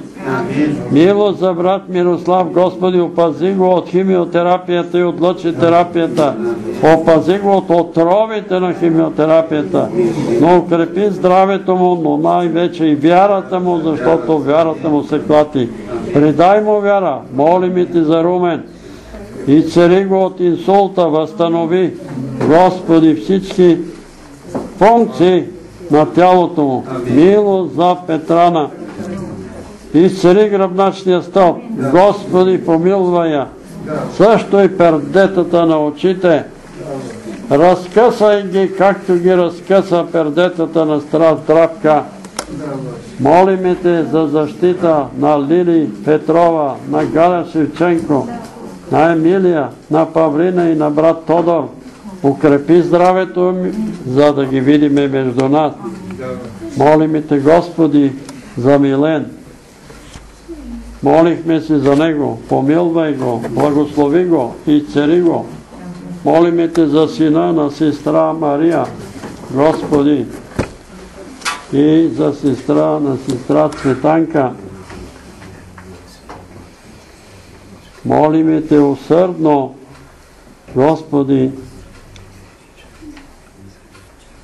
молиме те да промисли за техните техния живот, да ги срещнеш с подходящи съпруги, твои дъщери, царски дъщери и да създадат здраво християнско семейство. Господи, молиме Те да събориш този идол в центъра на София. Някога ние се молихме с брат Данчо, на същото място имаше един идол на Ленин и ти го събори и сега те молиме и той идол да го махне, защото София не се състои от езичници и никакви гърски богини, нито Нике, нито Афродита, която е богината на проститутките, не може да бъде символ на България. А тия, които го направиха, им дай покаяние. Защото това е мерзост. Тая мерзост в центъра на София те въздържа да благословиш страната ни и народа ни. Молим и те за Калинка, която преболедува коронавирус, да я опазиш съвършенно, да опазиш дъщеря и славяна и да й цариш майка и славка. Молиме те за сестрата Изета на сестра Виолета от Благоевград, опази ги от коронавирус. Молиме те за всички брата и сестри, които са проболедували, защити ги. Молиме те, Господи, за Северина, която е днеска изпраща майка си. Ние понякога чуваме, че трябва да пеем и да се радваме, но понякога човек заминава за чужбина и на близките му е мъчно. Затова молим и те утешителю, утеши дъщеря и утеши зето. Молим и те за брат Димчо за съвършено очистване и царене. Молиме те за сестра Петя, за брат Георги, за сестрата Минушка. Молиме те за Ралица, която също има проблеми. Не е болна, но е под карантина, защото в нейния клас има болно дете. Ние те молиме да я опазиш. Молиме те за сестра Даня. Таня! И синовете и Стоян и Даниел. Молим те за Гергин, да го изцериш, да го опазиш. Молим те за Розалия, за Кристина. Молим те за Мадлена. Марлена, тя е тук. Дойде. Ма, Марлена. Да. Мадлена. Марлена, Марлена. Маглена. Да. Тук е. Защото има и една. Чакай да видим. С Р. А? Не с Д, а с Р. Мадлена е... Марлена. Мадлен е друга, а Марлена е друга. Е друга. Ето е. Разликата е една буква Г. Да, да. Нали? Бог да благослови сестра Маглена Марлена. с Г и С Р. Мадлена. С Р. А? С Р. С Р. с- Р. Като Раво. Магрена. Ти знаеш, Господи, и двете ги познаваш и те молиме за Никола, това детенце, което има проблеми. И цари го и помилвай го. Молиме ти за Цветелина, снахата на Цецка Дойнова, да я опазиш, да я цариш и да опазиш целият дом на сестра Цецка. Благослови и Антуанет и опази го. Молиме те за Теодора Незряща. Тя вече е студентка тук в София. Много е трудно. Молиме те, Господи, да й помагаш и ако е възможно, да вложиш в сърцето на някои сестри, да я посещават. Тя иска да дойде и на нашите събрания, да й помогне също и на Мариана, която също е незряща, смири си за баба й. И за Милена, която е болна от паник, атака в Казанлък, освободи от тая паника и от този демон, който я изпълва със страх. Молим и ти, сестра Боримира, и за нейната майка, сестра Ценка, за Кристиян и Светозар. Господи, смири се над Петя от Асеновград. Молим и ти за Давид, 22 годишен. Молим и ти и за брат Давид. Давид беше тук преди малко, може би си отиде. Благослови го и него. Благослови го да си намери подходяща другарка, съпруга. Молим и ти за Цветелина и сестра й. Те пак да си намерят подходящи съпрузи. Молим и ти, Господи, за Пламен, за Нева, за дъщерите, зетовите и внуците му. Молим ти за Йоанна, която има бучки на гърдите, Господи, изгори тия бучки. Милост, Господи, за недялко от Италия, освободи го от тази сатанинска зависимост на порнографията, да се погнуси от порнографията. Милост, Господи,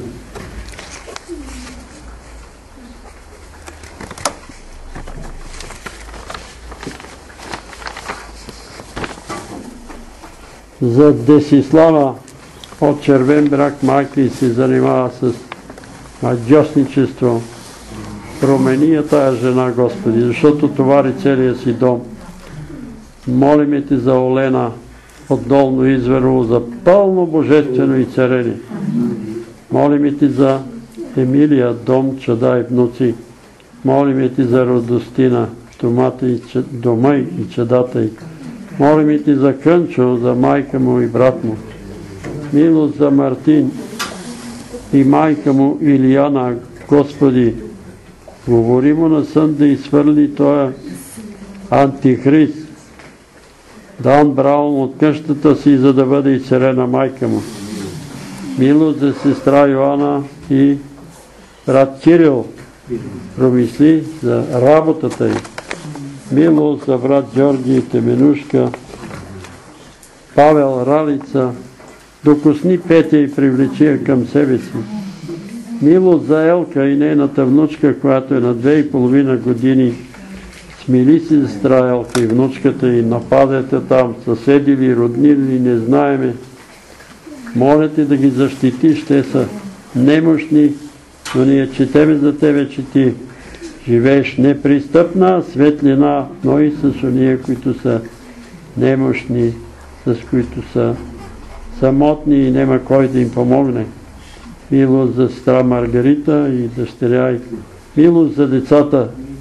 Господи, за истинско вероучение по българските деца. Вложи в сърцата на децата да бъдат такива като Даниел и Райна, които изобличиха учителките си. Господи, и Ти така добре ги благослови да се покаят. Молиме се за Марлена. Има проблеми с кръвта, Господи. Милост за сестра Марлена. Изцери кръвта й. Ти си сътворил кръвта. Господи, от една кръв всички, от Адам и Ема сме дошли. И тая кръв ти си я сътворил и ти можеш и да я изцелиш. Молиме ти това, което липсва в кръвта, хемоглобин ли, желязо или нещо друго. Набави го, Господи, набави го души святи и тя да бъде и царена. Ето ние виждаме и за Калинка, че е добре. И тя имаше същия проблем с кръвта. Молиме ти за Илия Бонев, който имаше същия проблем с неговата кръв и лекарите беха в целия та стая, болните си отидаха, а ти го и цари, и той е жив и здрав и днеска и работи като строител.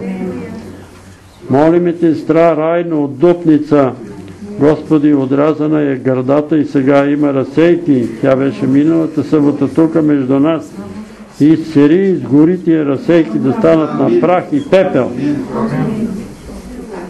Молиме те за сестра Валентина, съпруга и Тодор, синовете Рафаил и Емануил. Целият дом беше депресиран, аз вярвам, че е освободен, но те молим и за Емануил, това младо момче е на около 10-12 години, е болен от диабет. Господи, смъмри това демон на диабет да напусне Емануил и той да бъде здрав. Милост за Жулиета, болно от депресия, развържи, освободи от депресията.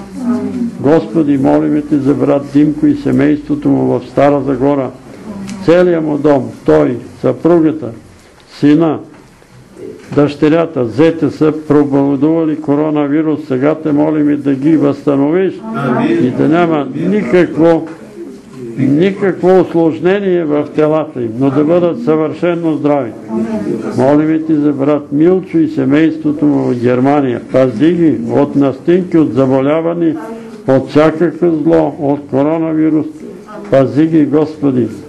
Молим ти за брат Валерий и съпругата му Юра и тримата им синове, снаха им и внука им в Германия. Благослови ги, пази ги, помагай им. Господи, помагай им, Господи. Трудно им е. Три деца, четири, седем следно семейство на Валери му е трудно и ние те молиме ти да му помагаш, да му бъдеш бърз помощник. Молиме те за Стра Мария, рак на панкреаса, за изцерение, съвършено изцерение на тялото им. Молиме те, Господи, за всеки един от нас сега мири, мини, от глава на глава, от сърце на сърце, души святи, изпълни ни със силата си, души свят. Молиме Те в името на Господ Исус Христос. Изпълни ни със силата си, души святи. Молиме Те, Отче святи, Творече и Господарю на Вселената. Изпълни ни със Святия Дух. Изпрати ни Святия Дух да ни ръководи, да ни помага, да ни изобличава, да ни насърчава, да ни изцерява, да ни спасява. Слава да бъде името Ти. Благодариме Ти, Господи, и сега Те молиме, Душе Святи, в името на нашия Спасител. Изцерявай премахвай главоболия. Изцерявай уши. Изцерявай очи. Изцерявай кръвно налягане високо и ниско. Изцерявай сърца.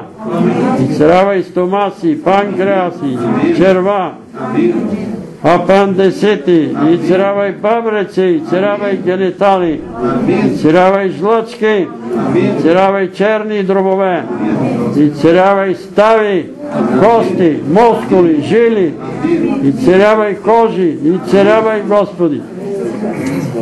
Слава да бъде на името Ти. Молиме Ти, изцерявай душевно болните. Изцерявай, Господи, и освобождавай ги от насилието на лукавия. Ти обикаляше Галилея, Иудея и развързваше и освобождаваше насилваните от дявола. И за това сега те молиме.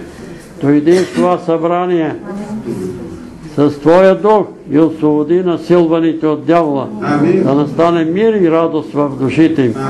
Господи, помилвай народа ни. Молиме Те за това събрание, освети това място. Господи, за това място се събират брата и сестри, арменци. Моля Те да ги благословиш, да ги помилваш, да ги ръководиш. В другия салон се събират наши брати и сестри. Пази ги, помагай им, изцерявай ги. Благославяй пастирите и проповедниците да говорят истината, да не се отклоняват наляво и надясно и да не приспиват народа. Молим се за всички подобни събрания тази вечер в град София, цяла България и по целия свят. Изливай духа си върху нас, изпълвай ни с присъствието си, изцерявай ни от всяка болест и от всяка немощ. Слава да бъде на името Ти. Благослови домовете ни, благослови роднините ни, благослови нашите сънародници по целия свят, там където са в чуждите страни. Те са странници, Господи, и затова Те молиме, понеже вярваме, че Ти си с особено с ония, които са съкрушени духом. Привдигай душите им, привдигай духовете им, насърчавай ги. Слава да бъде на името Ти. Господи, помилвай ни.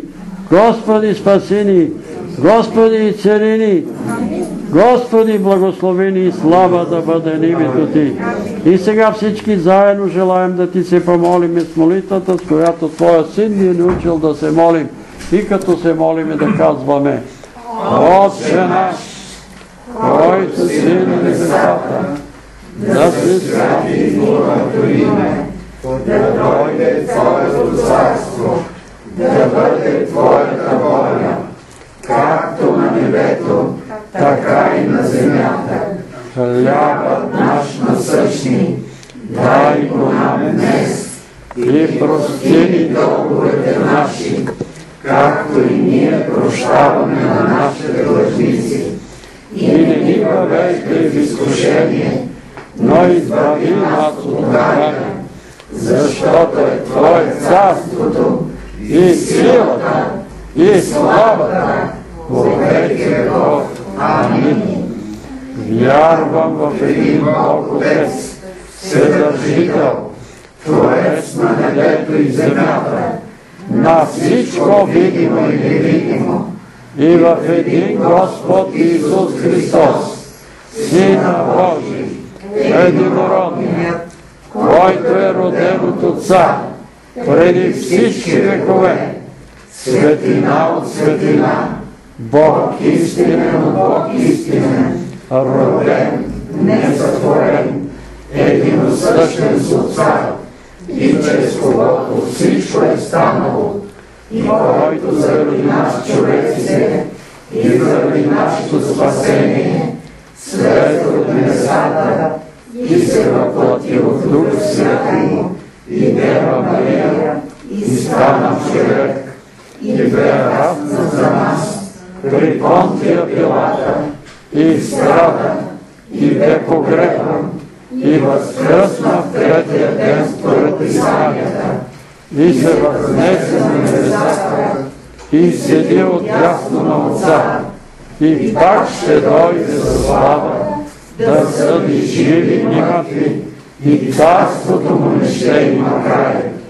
И в Духа Святия, Господа, животворящия, който от Отца изхожда, комуто се покланяме и го славиме на равно с Отца и Сина, и който е говорил чрез пророците в една свята, вселенска и апостолска църква, изповядваме едно кръщение за опрощаване на греховете, всяко възкресение на мъртвите и живота от бъдещия век. Амин. Господи, издигам тези дрехи и те моля да ги осветиш.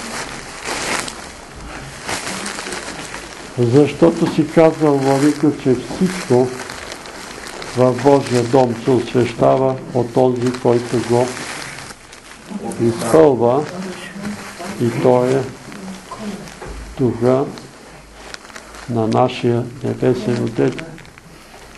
И всичко се освещава чрез Божието Слово и чрез молитвата. И това Слово, което ние четахме и молитвата, с която се молиме и вярваме, че тези дрехи ще бъдат осветени и че това място е осветено и че този авон е осветен от Твоето присъствие. И тези дрехи да бъдат осветени когато бъдат положени върху телата на болните и болните да получат освещението и да получат изцерение на болестите, от които са болни. Дай им съвършенно божествено изцерение на душите, на духовете и телата. Болестни духове. Когато тези осветени дрехи бъдат поставени върху телата на болните, в името на Отца и Сина и Светия Дух ви заповядваме. Напуснете телата им. Напуснете душите им. Напуснете духовете им. Отивайте там, където Бог ви е определил място и не се връщайте повече в тях. В името на Исус. Амин. Казвай, брат. Ами, за тая сестра с разсейките, дето са отрезали градата и с разсейки. А, Райна, сестра Райна от... Не е много ясно, обаче го виждам за момент. А, предната част на гревлото. Виждам едно гревло, Петре, в стеснена така картина. Гревлото поставено върху почвата, не виждам дръжка, не виждам да се движи. Едно гревло, с което знаеш гревлото какво се Да, който трябва да работи. Но, за съжаление, не работи. За Маралена тук преди малко тя излезе, няма значение. виждам един хамак, ти знаеш, това е една люлка, хората си, те се продават. Между две дървета се върза една голяма люлка за възрастни хора, мрежа и се люлкаш. Почивка, почивка, трябва да почива, да не се товари, За почивка. да почива повече. Там за порното, дето се моли, за порнографията там. За момент виждам черна ръка в ръкавица. Държи нещо като игла, ама дебела игла е така. За кое е това? За порнографията. Да? Е така черна ръка в Еми, ръкавица. дявола, дявола прави. Нали? Аз съм ви казвал, това се произвежда в хотел, какъв беше там в Калифорния. Калифорния. Те са сатанисти. А, това са тия проститутки, там влизат и оттам не могат да излезнат. Хранат ги, поят ги, цял живот лежат и правят порнофилми и така. И им дават, нали, плащат им, но тия хора са сатанисти. И те кълнат тия, дето го гледат. Те ги кълнат. Ето, черна ръкавица, черна, всичко това го правят. А иглата е стомана, светла. Да. И разберете го, обаче хората не могат. Мислят, е ми, какво толкова? За детенцето, забравих му името, аз само писах детенцето, има ни такива съдове стъпали фруктиери с плодове Да. виждам така, ама не ги виждам дали всички са добре плодове. Това за кое? За детето, За Никола. сигурно за Никола. Да. Е, съд стъпкан фруктиера, всъщност с плодове някакви, но не можах така да видя дали са добре, дали са гнили. Не знам какво знам. главно здраве вижда, плодове, нещо се усъмни. Еми, това е съд някакъв. Ако е неясно, минаваме го. За идол в центъра на София, като се молеше, и аз така ми се внуши, плюс малки идол, при водата има още един. Той е, а, а, кой беше то бога на там целител? Аполон, Аполон. Аполон. Аполон. Те го крадоха, па сега са служили още един. Ама а, и другия идол с оръжието, дето е срещу университета. А, той брат Петър се моли за тия окултните. Той Ама има това, също около А, но като се може за големия идол, е, ми се така припомни за това малко. Абе, Господи, събори, събори идолите на София. Абе, ще стане, аз се това ще кажа така. За семейства, които търсят да съдат семейства, трябва изпълнение стандартите на Новия Завет. Това го чувам за втори или трети път. кое е това? Които искат да създадат семейства християнски. Които искат да създадат семейства, трябва да живеят по Божия стандарт и да си намерят другарки и другарчета по Божия стандарт. Не За- може да живеят в греха и да искат Бог да им прати принц. За брат Миро не беше много ясно, но виждам една чушка тъмно-зелена. Чушка. За момент. Как Ами е? може да има нещо да яде Някакъв голем храст, не знам какво е. Чушките не са... И започна, аз от цел отзад напред ги карам, на- започна молитвата с а, а, един брат, а, който има проблеми с бъбреците. Ето, ще си, трябва да се чупат Това бъбреци. е, това е сина на сестра Мария. Тук където е. А, Мария, тя свети. Обаче, брат Петре, аз искам да кажа, бъде. все мълча, мълча, мълча. Нейният син живее от 20 години с една жена, с която няма брак. И аз си казвам, сестра Марике, не обръщай нещата от... А, така. е, бе, виж тя, няма Ти да трябва да го предлагаш за покаяние Няма да ни чуе. Христос. Разбираш ли? Тя винаги го предлага за изцеление. Правиха кооперация е, тук на Бабрика. Дошъл е в болницата да му вадат тук някакви е, как, катет, катета, нещо така. И сега сигурно са му открили други камъни в бъбреците и пак ще, ще ли да го правят операция. И вместо тя да го предлага да бъде спасена душата му, да подпише с тази жена, била по-стара от него, няма значение. След като живееш 20 години с нея, би трябвало да подпишеш. Нали, не че е лекарство, обаче а, забелязвам, че тук в църквата се молиме като че ли погрешно за хора, вместо да се молиме да бъдат спасени душите им, ние се молиме за изцеление и то няма изцеление. Защото сме материалисти. Да. Жената, за която се моли, ги държеше в ръка, но първо ти даде там това и след това забрави. Там за, за найема на, на Сточна гара за найем. А, значи, за... неясно беше нещо като цвете, ма не цвете.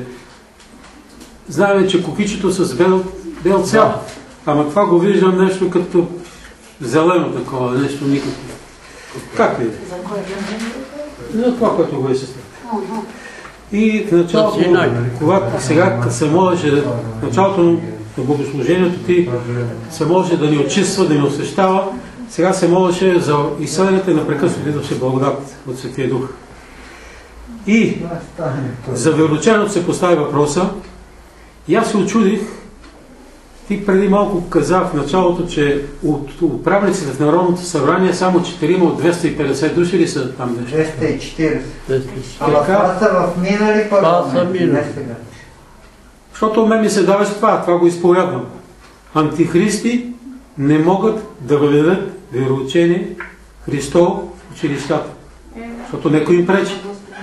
И всъщност това се получи сега това нещо. Аз как какво чувам, не съм се го измислил. И ако се молим за християни да не управляват, те щат не щат ще го въведат, защото са християни. Но това е мое, мое разбиране. Не, не, не го Това е само. Аз чувам какво чувам, го казвам Ама и разбира казвам се, си е моето мнение. Вие вярваш ли, че антихристи ще искат да се въде вероучение? И аз се очудих, когато тук по вест писаха, готови са материалите, влиза в Иерусалим събота, в това. И после четох нещо, това е братото знае какво се води. Има такива политици, Брат Петре, непрекъснато Като свършиме, може да седнеш на стола, че нещо ми тъжи да ти кажа. Но като, свърши, като свършиме, викам. Да, ще ми Да кажеш. седнеш на стола да ти Да, кажа нещо. добре. За брат Енчо ще ти кажа нещо. Кажи. А, преди малко казах на сестра Мария, донеси ли дреха на Милен, на сина й. Да. Тя каза ми, жената, с която живее, не давам. Защо не дава? Значи тя е А, не дава. Е, ви, щом не дава, какво да правим ни? Вижте сега, извинявайте, обади ми се една сестра, нейната дъщеря е много зле. Заповядай. И аз се питам, а, семейна ли е? Ами не, семейна, ама живее години наред с един а, мъж на... Какви бех тия? Семейни начало. Ами викам, трябва да се или да се ожени, или да се раздели от него. Тя е в блудство. Еми, знам, че е в блудство. А имате ли дома такива... Сега трябва да се молим и за този празник, дето идва Хелоуин. Хелоуин. Да, имате ли, викам, черепи, кости и такива тениски обувки? Имаме, вика, обаче сина ми каза, няма да ги пипаш, защото ще отрежа главата на дървника. Вика. Няма да ми пипаш, вика, тия, нали, тениски. Еми, Какво има за тия тениски? Има демон. Той е готов да убие майка си за един буклук. Ама моли се за него. Аз се моля, ама той къде е, на кого служи? На кого служи? Еми тя, а, той, той нейният приятел не иска да подписва. И като не иска да подписва, тя живее в блуд. Какво да правим? Нема да стане, разберете, че не искаме. Докато друго едно семейство се обадиха, слава на Бога, моята дъщеря живееше с един мъж, той се съгласи, сега ще, наскоро ще подписват и ще се венчават. И Господ ще ги благослови. Ама не, вие ако се молите, Бог ще ги благослови. Няма да ги благослови. Няма. Те са в грях. И може, разберете. За найма там. Някой оставил тук. За Мирослав. Значи виждам на черен фон бял удивителен знак. На черен фон. Бял удивителен знак. Внимание! Внимание. Еми да внимава. Внимавай. За съпруги и съпрузи, за брати и сестри, кацнаха два бели гълъба върху една жица. Ще има женитби и сват. Амин. Северина, която изпраща майка си във вечния път, видях един... А? Кремация ли е, на, е направил? А, не, тя ме пита. Да. Кремация, аз си казах, Не е а, ако сте християни, това е езическо. Това е будистите се кремират, ама те искат нали, да я кремират и да пръснат а, праха, дето тя е живяла в това село. Е, какво ще стане? Това са езически работи. Погребете си я. Нали, казах и за Йосиф, дето каза, ще дойде време, Бог ще ви изведе от тук да изнесете костите ви. Защо му са костите да ги занесе там в кананската земя? Значи има значение. Поставете, положете в гроба, писано е. Пръси, в пръста ще се върнеш, не в огъня, а в пръста. Ами, добре, ще видим. Аз питах един свещеник и той ми каза същото. И, и свещеника ще каже. Ако питаш някой атеист, той ще ти каже, а, няма проблем. Така, за Северина, което казах е а, един самолет пътнически реактивен излетял в небето. Ами пътническия е отнесъл майка и в небето. Е. Тя е в небето. Нали, молихме се, изповяда се, нали, Простила е. Каза, е простила е. простила. Освен това, тя е пожелала, тя беше в развод с мъжа си и сега се оказва, че тя е питала там адвокатката, вика, делото е прекратено по нейно искане. Нали? Не е разведено. Сестра, която е с паник атаки, мисълта е да се да призовава Божията милост. Моя мисъл. Да призовава Божията милост. За семейство то на пламен да дойдат на църква. Човек, който гледа порно, да, пак моя мисъл, да се остави Божиите ръце. Ще ви кажа, аз също съм гледал мърсоти и не можех да се отърва. Беше ужас. Викам, Господи, не мога. Ама такава слабост. Викам, моля те, помогни. И така и не разбрах как се освободих. Вече такава гносота изпитвам от такова нещо, че по никакъв начин не мога да, да го повторя. Наистина. И другото, което е за касети, дискове и такива неща. Една вечер се прибирам от църква, беше още на Були на ливада. И като ме свизат, ама така ме сви се едно нож ми е забито в главата. Боли и не минава. Моля се, правя какво ли не. В един момент се сещам, че имам 25 диска на групата Pink Floyd. Хващам дисковете и ги начупих на парчета и край. Така че има значение. И в един момент ти си викаш утре, други ден, в един момент идва проблема и ми се решава. Но да не е с болка по-добре. Така че, а отделно за такива запорно неща, съм виждал от монитори, от телевизори, излизат черни чудовища. Направо от монитори излиза чудовището и атакува човека, иска да го удуши буквално. Така че не е шега работа. За Йоанна, така, а, за решаване на нейната работа. Пак мисъл ще стане по Божия начин. Така че аз не знам какъв е Божия начин, но ще стане по Божия начин. Мислех си, че ако тя в момента има достатъчно средства, може би Бог възпира до известна степен нещата, но не казвам нищо. Просто си го мисля. Защото този договор ще трябва да се плащат неустойки, но Бог знае какво е положението. А, Олена за изцерение. Будилник. Голям будилник с бял циферблат показва 5 часа следовете. Еди да става на молитва. Да. По-често да се буди и да става на молитва. Валери и семейството му.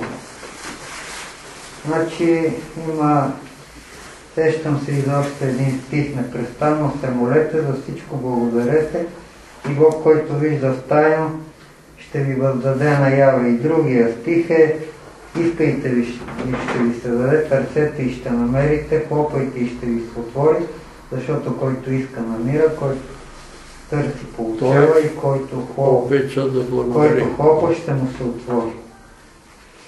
Така, за дрехите а, една песен ми се запява. Аз имам чудна Аз имам чудна благодат, спасителна за мен. И за идола в центъра на София, понеже говорихте накрая, виждам един човек, който си е сложил на рамото едно РПГ и е насочил към това видение го имам няколко пъти, но сега пак ми се даде. Насочил го и към Еми. извора Нещо казва. А, Йо, Йоанна ли се казваше жената с образование в Пете гърди. Айде, Да. някакво а, виждам срез на кожата Да. и нещо черно, което с, с като забито така в кожата. Да не би да има татуировка някаква. Не знам, трябва да питам. Нещо е забито в кожата й. Възможно е. Възможно е. Черно, което... Да, добре. Да ви предложа да прочетете стих 30, а, Псалом 33 вкъщи, ако желаете. Друг има ли някой? Някой откровение? Кажи, Павчо. А, Сетих се за една книга, която раздаваха, изглежда от Адвент, от Адвент, Адвентен източник, където не пише дословно дали е Елена Лайт авторката, но мисля, че обработено ново издание, някакво ново издание. Да, безплатно ги раздаваха и още стои у дома. А, Сега, ако а, разбирам, че, че там има много а, против католическата църква и така нататък, че трябва да се унищожи, обаче а, има и, нали, понеже се споменава и Има стихове, чисто може да се избере. има стихове, да, има, именно от словото. А, трябва да бъде изгорено. Да се изгори. Да. Еми, тия неща трябва да се изгорят, защото заблуждават народа. Има хора, които пишат, че тая коронавирус е измислена, това е лъжа, това е а, да се всява страх, това е измислено от масоните. Други пък пишат, че това е създадено от дявола и това не е верно. Други казват, че па Господ ни наказва нали, и ще изтреби целия свят.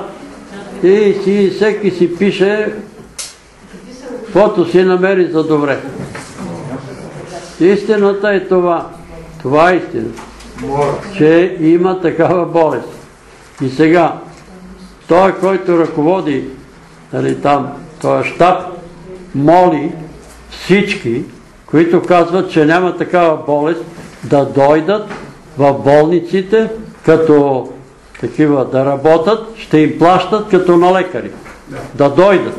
Тия, дето казват, че няма коронавирус. Много добре. Да заповядат. Ще им плащаме като на лекари. Защото знаете колко хиляди лекари вече са заразени.